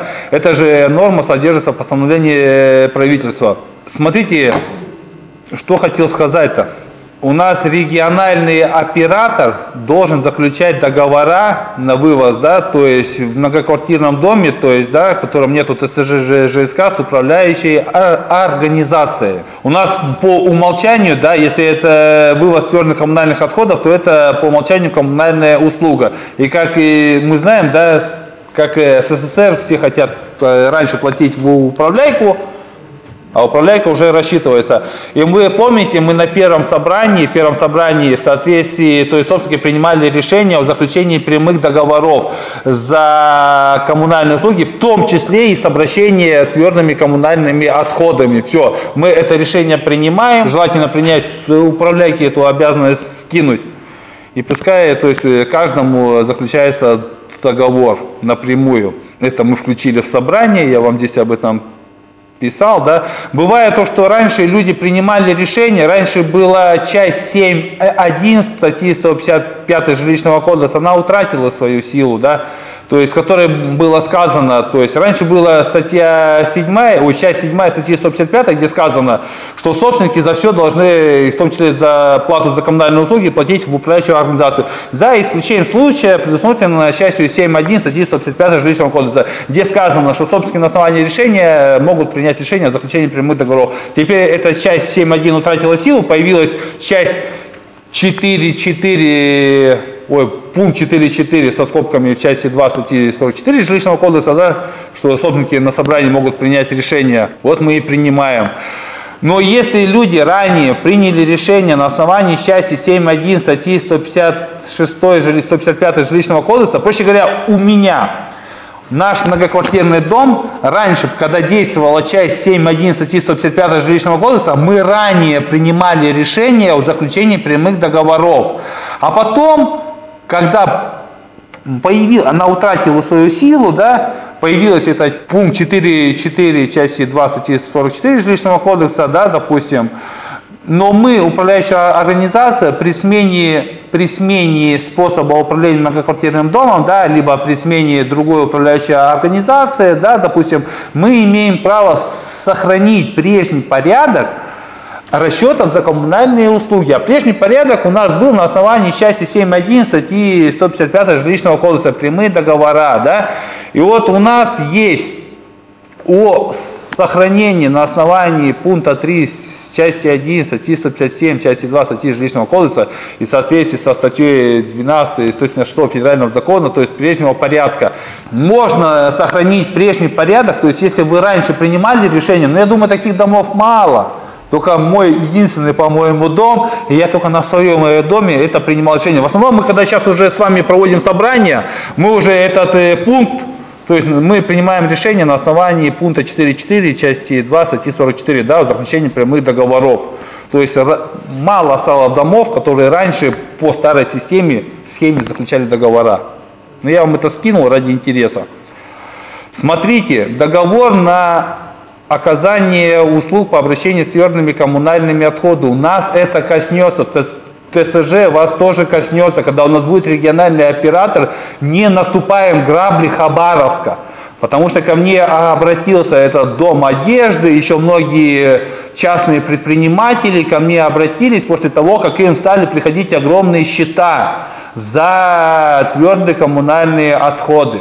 Смотрите, у нас э, правило предоставления коммунальных услуг есть типовой договор, типовой на вывоз твердых коммунальных отходов. Но у нас жилищное законодательство дает право нам, чьи эти отходы, заключить свой договор с региональным э, оператором. И в этот договор включить все необходимые сведения, в том числе, как вы будете определять объем какой объем, то есть, знаете, главное объем, прописать определение объема. Вот э, в правилах предоставления коммунальных услуг, да, то есть правила заключения договоров между управляющими организациями и э, ресурсниками на Крысое, есть такое постановление правительства 124 порядок и правила заключения э, договоров на этот Крысое. И вот есть существенные условия э, договора. Что такое существенные условия? Еще понимаете, если в отношении существенных условий стороны не пришли к согласию, то договор может считаться не заключенным. А существенные условия – это определение цены договора объема. Главное, объема. Потому что от объема и цена договора. И вот глядите, есть типовой договор, да, по обращению с на оказание услуг по обращению с твердыми коммунальными услугами. И видите, здесь объем твердых коммунальных отходов, места как бы накопления, периодичность вывоза, то есть информация есть, то есть она определяется в договоре. Вот. Потребитель обязан, то есть обеспечить учет объема массы, это понятно, да, то есть обязан. Я вот на что хочу обратить внимание. Смотрите, у нас есть 505 постановление, то есть коммерческий учет объема и массы твердых коммунальных от- отходов. И вот я вам тут э, таким серием, да, то есть у нас, смотрите, коммерческий учет твердых коммунальных отходов осуществляется расчетным путем, исходя из норматива накопления твердых коммунальных отходов, выражаемых в количественных потребителях, э, объемах, а нормативы у нас устанавливает наше Министерство ЖКХ края, вот, из количества и объема контейнеров для накопления твердых коммунальных отходов и исходя из массы, вот, так, из массы, так, где я вам тут, а, ну еще вы должны назначить лицо ответственное для, смотрите, к чему я хочу сказать, в вашем договоре, если как в Хабаровске, вот, допустим, дом одежды, сидят на попе ровно, до того времени не стали э, заключать э, договор с региональным оператором, где определили объем, то есть определили место сбора, что у них стоит, допустим, 6 контейнеров по 0,75 и кузов, э, 0,75 и куба, что будут вывозиться два раза в неделю, допустим, да, и они определили об- объем. То есть они э, договором определили объем и периодичность его э, вывоза. Если они этого не сделали, да, допустим, не определили, да, по контейнерам, да, то есть количество и объема контейнеров, то есть учет по контейнерам, да, и это в договоре, то им региональный оператор, как для некоммерческой, как для коммерческой организации, по нормативу, как- ко- которое Министерство ЖКХ края, она ему выставила счет.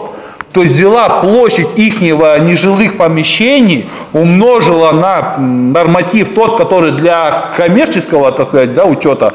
И им такой счет, они говорят, мы, ста- мы столько мусора не вывозим. А я им говорю, а вы что сидели на попе ровно? Вы ждали, пока вам счета выдадут, да? Вы должны были, руководствуясь 505, да, и всеми нормами закона пойти к ним, заключить договор на конкретно, какой у вас объемы мусора вы производите, с какой периодичностью, то есть это вы должны были объемы, главное, с ними оп- определить. Просидите на попе ровно, они вам по нормативу определят. Но они же подписали с ними типовой.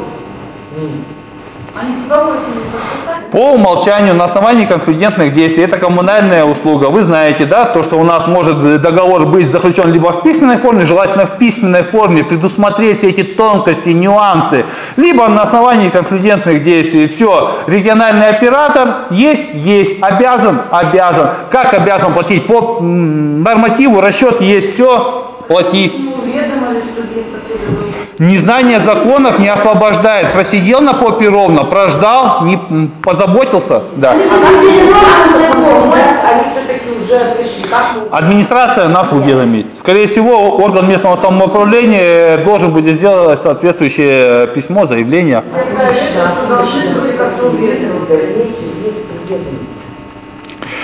Так, ну вывоз кру- крупногабаритного, э, понятно, да, то есть он в соответствии с законодательством, то есть он дол- должен быть раз в неделю хотя бы. Так, я вам что здесь накопление правительства? Вот, я, смотрите, как хотел вам практику, показал Москвы. Там правильно. Вот у нас на одного человека, да, а здесь на один квадратный метр площади, потому что... А, площади. Или стойте, и у нас на и у нас квадратный метр площади. То есть у нас, смотрите, может считаться норматив либо от площади, сейчас у нас от площади считается, либо от количества человек. Правильно будет считать от количества человек, потому что площадь, э, мусорят не площади, а жители. Вот у нас сейчас в Хабаровском крае, да, то есть норматив от площади. И это неправильно. Одна бабушка, проживающая в трехкомнатной квартире, получается, платит региональному оператору э, больше, чем в однокомнате 6 э, хачапури жарят, да, и мусорят. Это неправильно. Мусорят все-таки у нас и люди. Но мне так кажется, из-за того, то, что у нас не отработана схема по установлению временно проживающих, вы помните, да, кто и, и информацию региональному оператору для начисления платы, да, необходимую, а э, э, в эту необходимую информацию входит в том числе и количество временно проживающих, да, у нас эту схему никто не отрабатывает, кроме управляющей ор- организации Веста. И вот поэтому им проще считать с квадратных метров. Так, на что я хотел обратить еще внимание? А, ну мусор. Ну да, порядок э, перерасчета, он также э, предусмотрен правилами предоставления коммунальных услуг. То есть одни правила перерасчета, сколько не вывезли, за столько не платим. Еще я вам сюда скинул правила, да, у нас требования к качеству коммунальных услуг, да, плюс 5 градусов, да, и ниже, не реже одного раза в трое суток, да, а если плюс 5, да, то есть, то не реже одного раза. То есть при меньше плюс 5 могут раз в три дня, при плюс 5 ежедневно вывозят, чтобы не застоялся. Минус 30, и у нас 4 минуты. Это вообще нормально? Ну а что нет? Так, я вам хотел... Больше с вас пишут. Я жизнь, вас мусора действительно. Ну, у вас такой огромный дом, конечно, у вас. Так, нормативы у нас везде прописаны. Вот э, домовладение, я вам как бы нормативы скинул. Они, вот, э, нашего Хабаровского края, они у вас здесь в папке тоже есть по твердые коммунальные отходы. Так, я хотел обратить внимание, так, договор, договор, в том числе крупногабаритный, время содержания, обязан региональный имеет право. А, ну это типовой э, договор, я вам тоже скинул, он есть. Так, на что тариф, соглашение, свод правил. Ну, ну, здесь вся нормативка. Ну-ка, вот нормативы по твердым коммунальным. А, норматив. В общем, кому будет интересно по твердые коммунальные отходы, откройте папку твердые коммунальные отходы и прочитайте. Давайте следующее. У нас э, план работы и услуг. Отнимаем от нашего э, бюджета, вы же помните, да, мы сперва рассчитали бюджет дома, да, потом от него потихоньку отнимаем. Вот. Раньше были хорошие ГОСТы, я вам старые правила привел, да, то есть раньше было, да, не реже одного раза в три дня, если при температуре до 14 градусов, то есть раньше чуть-чуть были другие требования.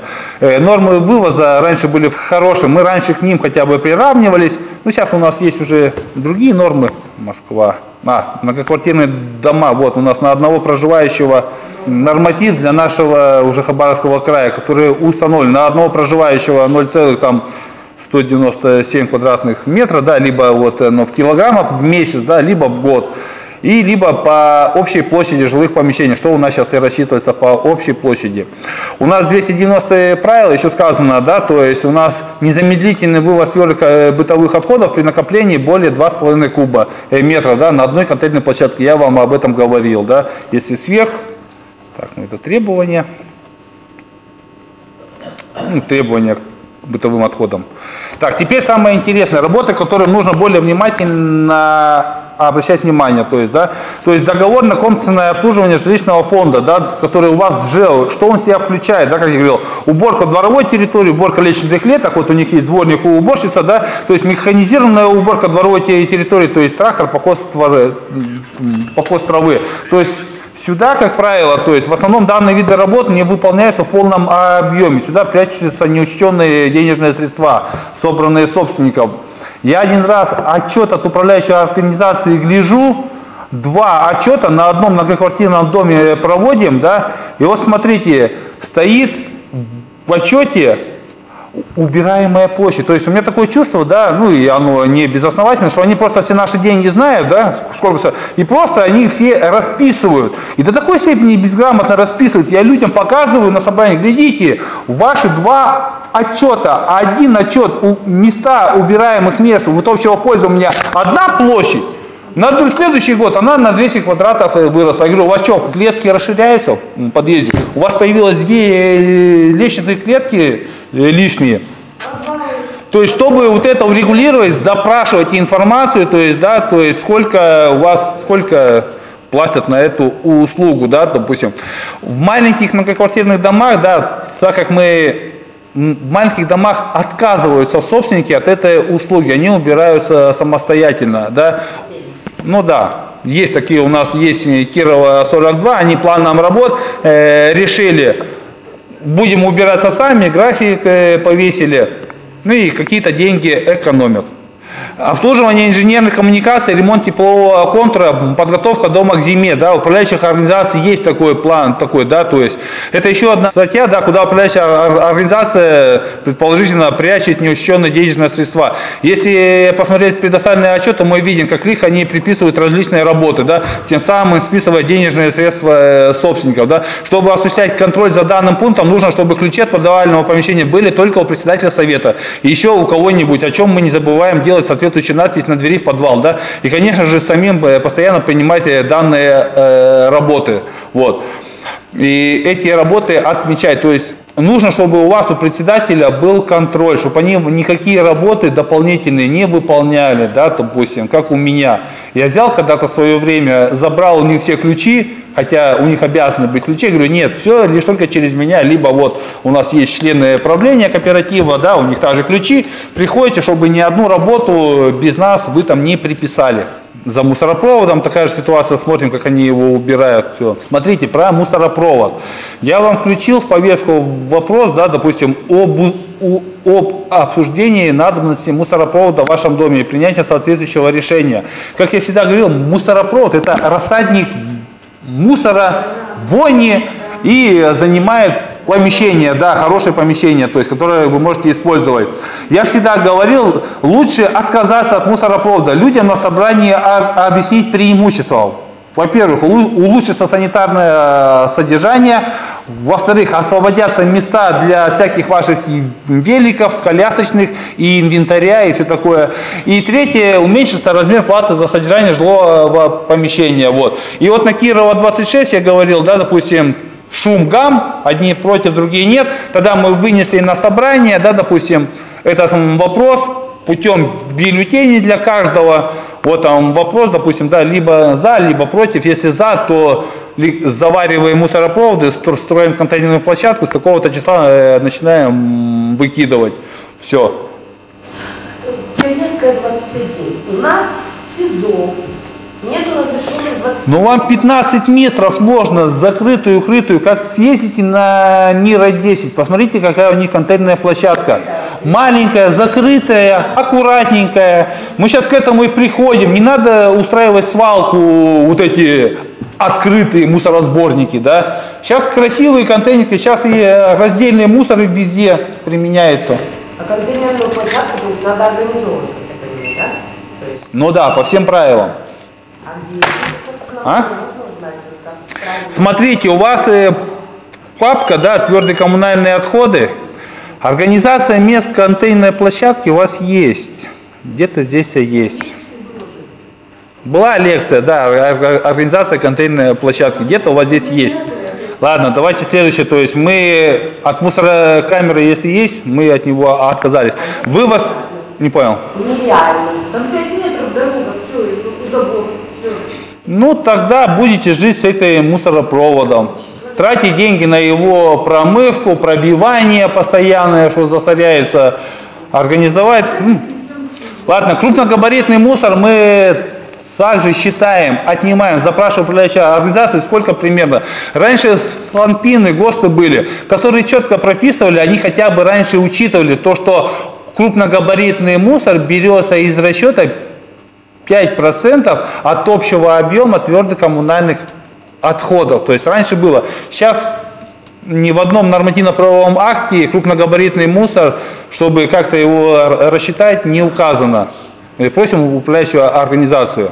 И глядите, еще хороший мой вопрос, это действующие э, нормативно-правовые акты, то есть ГОС как бы действующий, на контейнерах должны быть реквизиты владельца контейнера. Когда мы э, мусорку проходим, мы видим, на контейнерах напишем наш там ремстрой, какой-то ремстрой, нет. А пройдете управляющая организации Веста, допустим, по контейнерной площадке, на Кирова 26 пройдете, на контейнере четко написано улица Кирова, дом 26. На Краснофлотской 20, корпус 3, там ЖСК 24, там написано ЖСК 24. На вокзальной, то есть на контейнерах должно быть, видите, должны быть реквизиты владельца контейнера. Кто является владельцем контейнера? Контейнер относится к общему имуществу. Он обладает всеми признаками общего имущества. Обслуживает более одной квартиры. Все, соответственно, на контейнере должно стоять э, номер дома. И еще, видите, хорошее требование. Мой любимый также Вопрос, на основании чего и при наличии чего, да, управляющая организация имеет право списывать деньги с лицевого счета многоквартирного дома за вывоз и утилизацию твердых коммунальных отходов. Здесь сказано, списание денег с лицевого дома многоквартирного, да, то есть производится только на основании и при наличии у исполнителя оформленных и подписанных актов выполненных работ. То есть, да, у нас как списание денег с лицевого счета за текущий ремонт на основании акта выполненных работ, то и также и вывоз мусора. Когда вы можете спросить у своей управляющей организации, а вы списываете деньги с лицевого счета на основании акта выполненных работ, а кто имеет право подписывать акты выполненных работ? Председатель, только на основании выданной доверенности.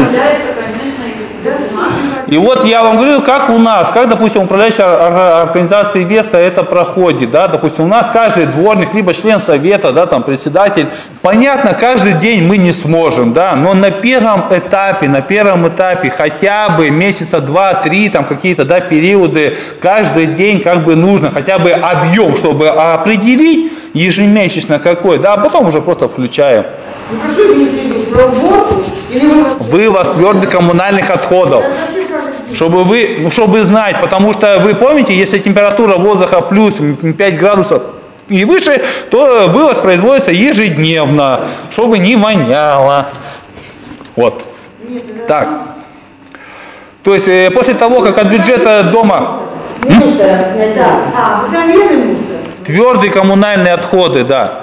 Э, после того, как от бюджета дома отняли основные работы и услуги, на оставшие денежные средства планируем работы на предшествующий год. При составлении плана работы и услуг не забываем про повышение тарифа, да, то есть у нас же тариф еще может повыситься, да, то есть неважно, как он повышается, главное, как он э, э, расходуется. Составлять план работы и услуг э, нужно таким вот образом, чтобы у вас еще оставались деньги на какие-то предвиденные ситуации, да, то есть не оставляем без внимания денежные средства арендаторов. Если, дай бог, вам управляющая организация сказала, да, сколько у вас дополнительных денег, то вы их также можете планировать. Вот. Смотрите, я вам хочу рассказать быстро практику э, на следующем занятии, быстро практику управляющей организации Веста.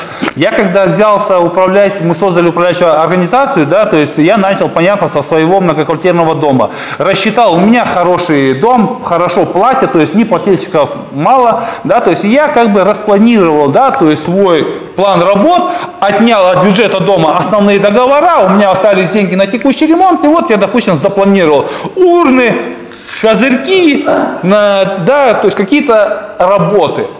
Но мы берем жилищный фонд, я вам говорю, не новый, не на гарантии, а с изрядно износившимся инженерными коммуникациями. Да? И вот вы не знаете, что завтра произойдет, а у меня раз и розлив холодной воды лопнул. Розлив, 86 тысяч вин, да, положь. Я говорю, люди ходили без этих урн, без этих козырьков по обшарпанному подъезду еще и будут ходить. А лопнет что-то, понимаете? Все, мы должны будем взять. И я, как всегда, я предлагаю, как делает управляющая организация Веста.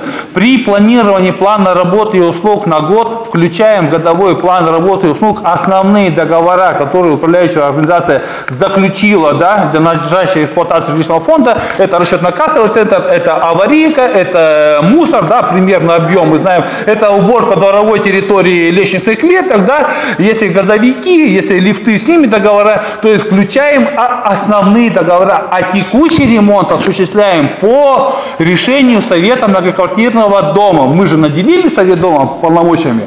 Аварийные заявки выполняются немедленно, это ясно, да, то есть мы включаем, не включаем, если труба лопнула, мы ее ремонтируем, обязаны, вот. А текущий ремонт по заявкам собственника, ой, текущий ремонт по решению Совета дома. Так как мы еще не знаем, сколько у нас арендаторов, правильно, мы не знаем. И вам, если управляющая организация от вас эту информацию скрывает, не предоставляет, вы ничего не знаете, то вы хотя бы составьте свой годовой план работы и услуг просто общими фразами, что вы включаете основные договора, а текущий ремонт вы будете осуществлять по решению совета дома, да. И вот у нас каждый совет дома, да, смотрит, то есть, понятно, контролирует деньги, да, и смотрит, какие работы включены, какие нет, да. И вот э, я вам здесь э, быстро хочу показать, то есть я, как мы годовые планы работ, вот сканы протоколов, нет, вот там планы работ, допустим, Кирова 26, да, то есть как он выглядит сам э, протокол, да, допустим, э, видите протокол годового общего собрания, это годовое, у нас либо бывает внеочередное, либо годовое, годовое это обязательное, да, допустим, должно быть, вот они, э, наш э, протокол, повестка собрания большая, Председателя избрали, сек- секретаря избрали, избрание лист, подсчет голосов, да, о переизбрании совета, о чем я вам и говорил, на каждом доме мы, мы переизбрали совет в три человека, да, потому что те советы, которые создаются при смене управляющей организации, оказывается в этом совете не те люди, которые готовы принять участие в управлении домом, а готовы дружить, э, против кого-то дружить, жаловаться, то есть это не те. Так, об переизбрании председателя переизбрали, о снижении там для арендаторов. Один арендатор хотел снизить размер платы, мы это на решение собрания вынесли, собрание сказало не будем. И вот седьмой вопрос об утверждении плана работы услуг на 22 год. То есть оно у нас идет в виде приложения. Договор управления в новой редакции мы утвердили. И вот смотрите, я вам покажу обязательные приложения к протоколу. Э, Первый это акт о размещении сообщения, да? Настоящий акт составлен о том, что по адресу на Кирова 6 на досках объявления такое сообщение, то есть э, подписи комиссии, само объявление сообщения да, по инициативе управляющей организации, то есть у нас в, в управляющей организации Веста годовые собрания проводит управляющая организация. Мы знаем, да, что управляющая организация имеет право проводить собрания с повесткой, с любой повесткой, которая э, дана решению то есть общему собранию, то есть любые. Все, мы годовое провели. Второе это само объявление. Третье приложение обязательно это реестр всех собственников. Видите, каждая страница заверяется. Приложение это реестр. Следующее приложение, обязательное к протоколу, которое должно быть, это присутствующие лица, принявшие собрание, так как у нас очная форма собрания, соответственно, вот этими подписями они и говорят, что кворум был да, на собрании. Вот у нас все были, все пришли, все проголосовали. Вот. Следующее обязательное приложение к протоколу – приглашенные лица. Это обязательно должно быть. Если никого не было, то, понятно, никого не вписываем. Вот у нас здесь был генеральный директор, приглашали на собрание и управляет, ну и заместителя генерального, которые цель, да, в собрании, да, ответы на вопросы участников собрания. Вот. Ну, это приложение к протоколу, это у нас э, вымпелком, Билайновская вышка просила уменьшить размер платы, мы, понятно, приложили. И вот там план работ, приложение номер 7. Сам план работ, такой надвиг, мы его здесь, как я говорил, включаем основные договора, основные. Также оплата председателю здесь включается, есть. Я вам, глядите, в папке председателя есть планы работ и отчеты. Откройте здесь, здесь есть вот план э, работ, который хорошо, как бы видите примерно, да, план работ, что мы сюда включили только основные договора. Ну, если где-то что-то они еще там считают, если то включат. И сюда в план работ, смотрите, вот услуги аварийные, а, ну, услуги работы по управлению многоквартирным домом мы 10% берем. Работа с арендаторами общего имущества, э, здесь мы также берем 10%. И видите, здесь э, Вознаграждение председателю Совета многоквартирного дома на основании протокола, решения собрания, вот 5%, да, и у нас тут председатель в год, сразу говорю, в год получает 79 тысяч, да, некоторые на собрании говорят, о, 79, я говорю, да это в год. Если честно, некоторые... М? 5% она получает. Нормально. Ну там где-то 6 чем-то в месяц получается. 6 тысяч. 15 по факту. Вы 10 и председатель. Ну да. Это дом большой такой, что ли? Девятиэтажный. Общая площадь, ну вот здесь вы глянете для себя, как здесь план работ примерно составляете. Еще ради интереса, я вам здесь скинул о- отчет от управляющей организации. Также я взял свой дом и взял Кирова 26. А вот отчет уже, отчет по факту. Здесь уже много-много-много работ, которые мы уже сделали. И ремонт окон, да, и там установка там шпингалетов и всего-всего. То есть все те работы, которые были, они у нас в отчет включаются. И арендаторы, и все. Давайте быстро по плану работ все вам понятно, да? То есть смотрите, для чего еще важно, запомните эту важную мысль. Глядите, для чего важно вам, как ТСЖ, управляющим организацией, утверждать годовой план работы и услуг на следующий год, чтобы не было такого, как у меня. У меня на Комсомольской 76, корпус 2, женщина написала жалобы, да, что на окнах нету шпингалетов. В законе прописано шпингалеты, а тут нету. Все, и мы выполнили ее, ладно, нам жилищная инспекция предписание сделала, вот, обязаны быть. И тогда мы встретились с жилищной инспекцией, со всеми встретились, да, взяли практику вот этого Танпина, который в марте 22 года вступил, который обязывает, то есть прописано обязаны ежедневно мы, да, и то есть здесь мы изучив все, применив все требования жилищного законодательства, требования жилищного кодекса, всех э, норм и правил, да, 491 постановления, э, смотрите, можно не исполнять хотелку. Как я говорю, я раньше, и я вот так же использовался, чтобы привести ваш дом в какой-то надлежащий вид, мы постоянно писали жалобы, да. То есть в каждом доме есть такой человек, который пишет жалобы, что окошки не засеклены, то есть какие-то жалобы пишет, какие-то как бы нарушения. И жилищная инспекция предписание делает, все, управляющая организация обязана исполнить это предписание что-то сделать. То есть мы таким людям были благодарны. И сейчас в наше время при нашей модели управления, где есть совет дома, председатель дома, где совету даны полномочия принимать решения о текущем ремонте, да, где проводятся годовые собрания, да, допустим.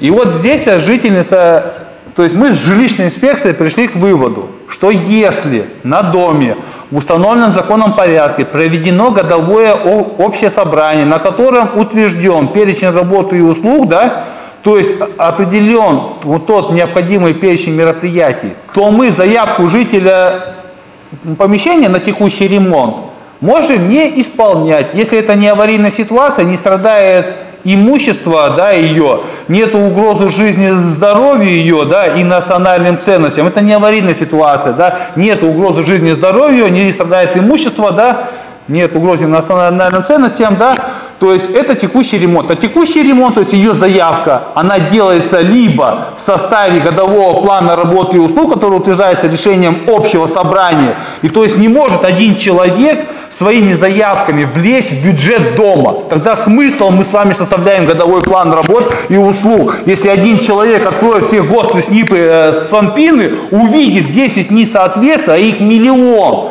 правильно, на каждом доме, и будет писать жалобы.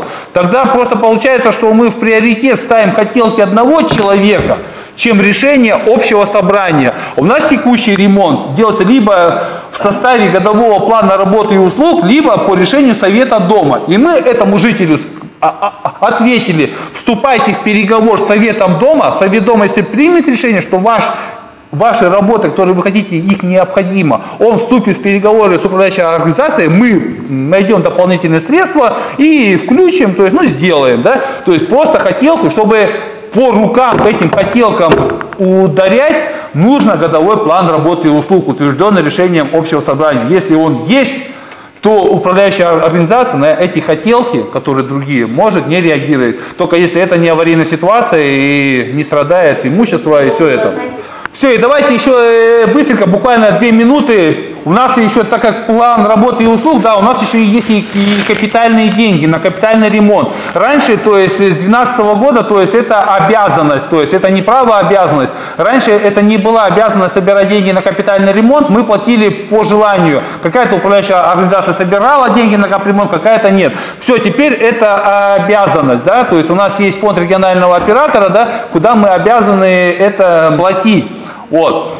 Но у нас еще, знаете, с 1 января 2015 года у нас обладателем специального счета может быть управляющая организация, ТСЖ, там ЖСК, да, допустим, которые также могут быть. И я знаю, у нас э, некоторые управляющие организации создали специальный счет, и деньги выставляют есть, счет за капремонт, и вы, вы их туда платите. То есть, если вы в управляющую организацию платите, то вы можете планировать с ними свои какие-то работы по капремонту. Если же вы платите региональному оператору, да, то у нас порядок и правила планирования капремонта ремонта четко законом предусмотрен. Сперва на уровне управляющих организаций они советами домов якобы проводят осмотр, составляют планы, передают в администрацию, администрация краткосрочный план составляет, передает в Хабаровск, где э, формируется программа уже капремонта.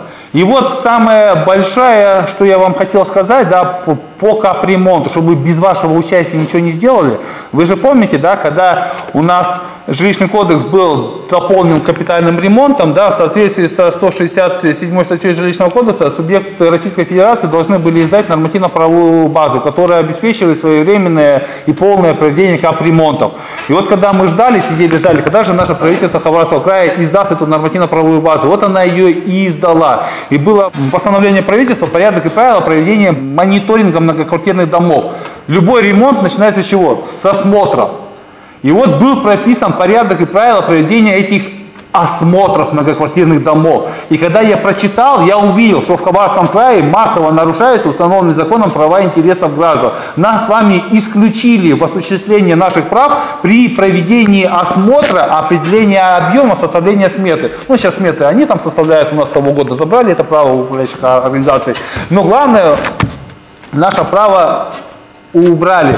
И получалось как? Управляющая организация приходит на э, многоквартирный дом и говорит, мы вам, вот он вам э, протокол собрания, идите распишитесь, да, все соберите подписи, мы будем вам кровлю, либо швы делать, либо еще что-то, то есть огромный объем работ, в долг на 10 лет вам, председатель такие глаза, откуда взялся этот объем, если я не принимал участие в осмотре и везде-везде. Я вам здесь нормативно-правовую базу скинул, да, по капитальному ремонту, что у нас есть ГОСТы, СНИПы, СанПины, да, где везде сказано, что с вами должны осмотры проводиться, определяться объем, все. Но наше правительство края решило вас не обеспечить участие вас. И тогда мы, наш совет председателей, да, допустим, бился 5 лет, писали во все инстанции, здесь нам везде отвечали то, что все нормально, все хорошо, э, это Постановление не нарушает установленные законодательством права и интересы собственников помещений в многоквартирном доме. Администрация это нам ответила в 2015 году. Ну, мы долго вели переписку со всеми, да? До тех пор... А? С какого года они забрали край капремонт организовать? Так, 25 декабря 2012 года жилищный кодекс дополнен разделом капитальный ремонт. Как они забрали? Это в 2015 году, да?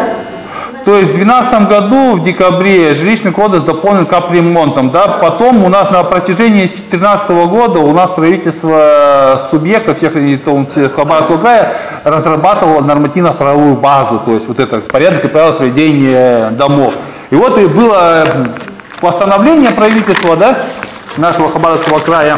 В общем, в 2013 году, 8 октября 2013 года, было постановление правительства Хабаровского края э, порядок проведения мониторингового технического состояния многоквартирных домов, расположенных на территории Хабаровского края. Вот в этом порядке мониторинга нас с вами не было. Без нашего участия планировали работы и по той цене, которая нас не устраивала. Мы бились во все инстанции, нас никто не слышал, отписки нам давали до тех пор, пока я как эксперт по вопросам ЖКХ был регионального отделения, на тот момент регионального отделения Общероссийского народного фронта, да, эксперт по вопросам ЖКХ, и был огромный вебинар общероссийский по поводу капремонта. Я от Хабаровского края там э, выступал. Я обратил на это внимание, то, что в Хабаровском крае массово нарушаются права и интересы граждан при проведении капремонта. А именно нас исключили от участия в осмотре, определения объема, составления сметы, оставили только в конце, в задней части приемка выполненных работ. Елки-палки, а начало без нас. А коррупция, природа коррупции появляется тогда, когда теряется контроль. А если нас еще умышленно отсюда убрали, то вот она прямо прямая коррупция, по нашему мнению.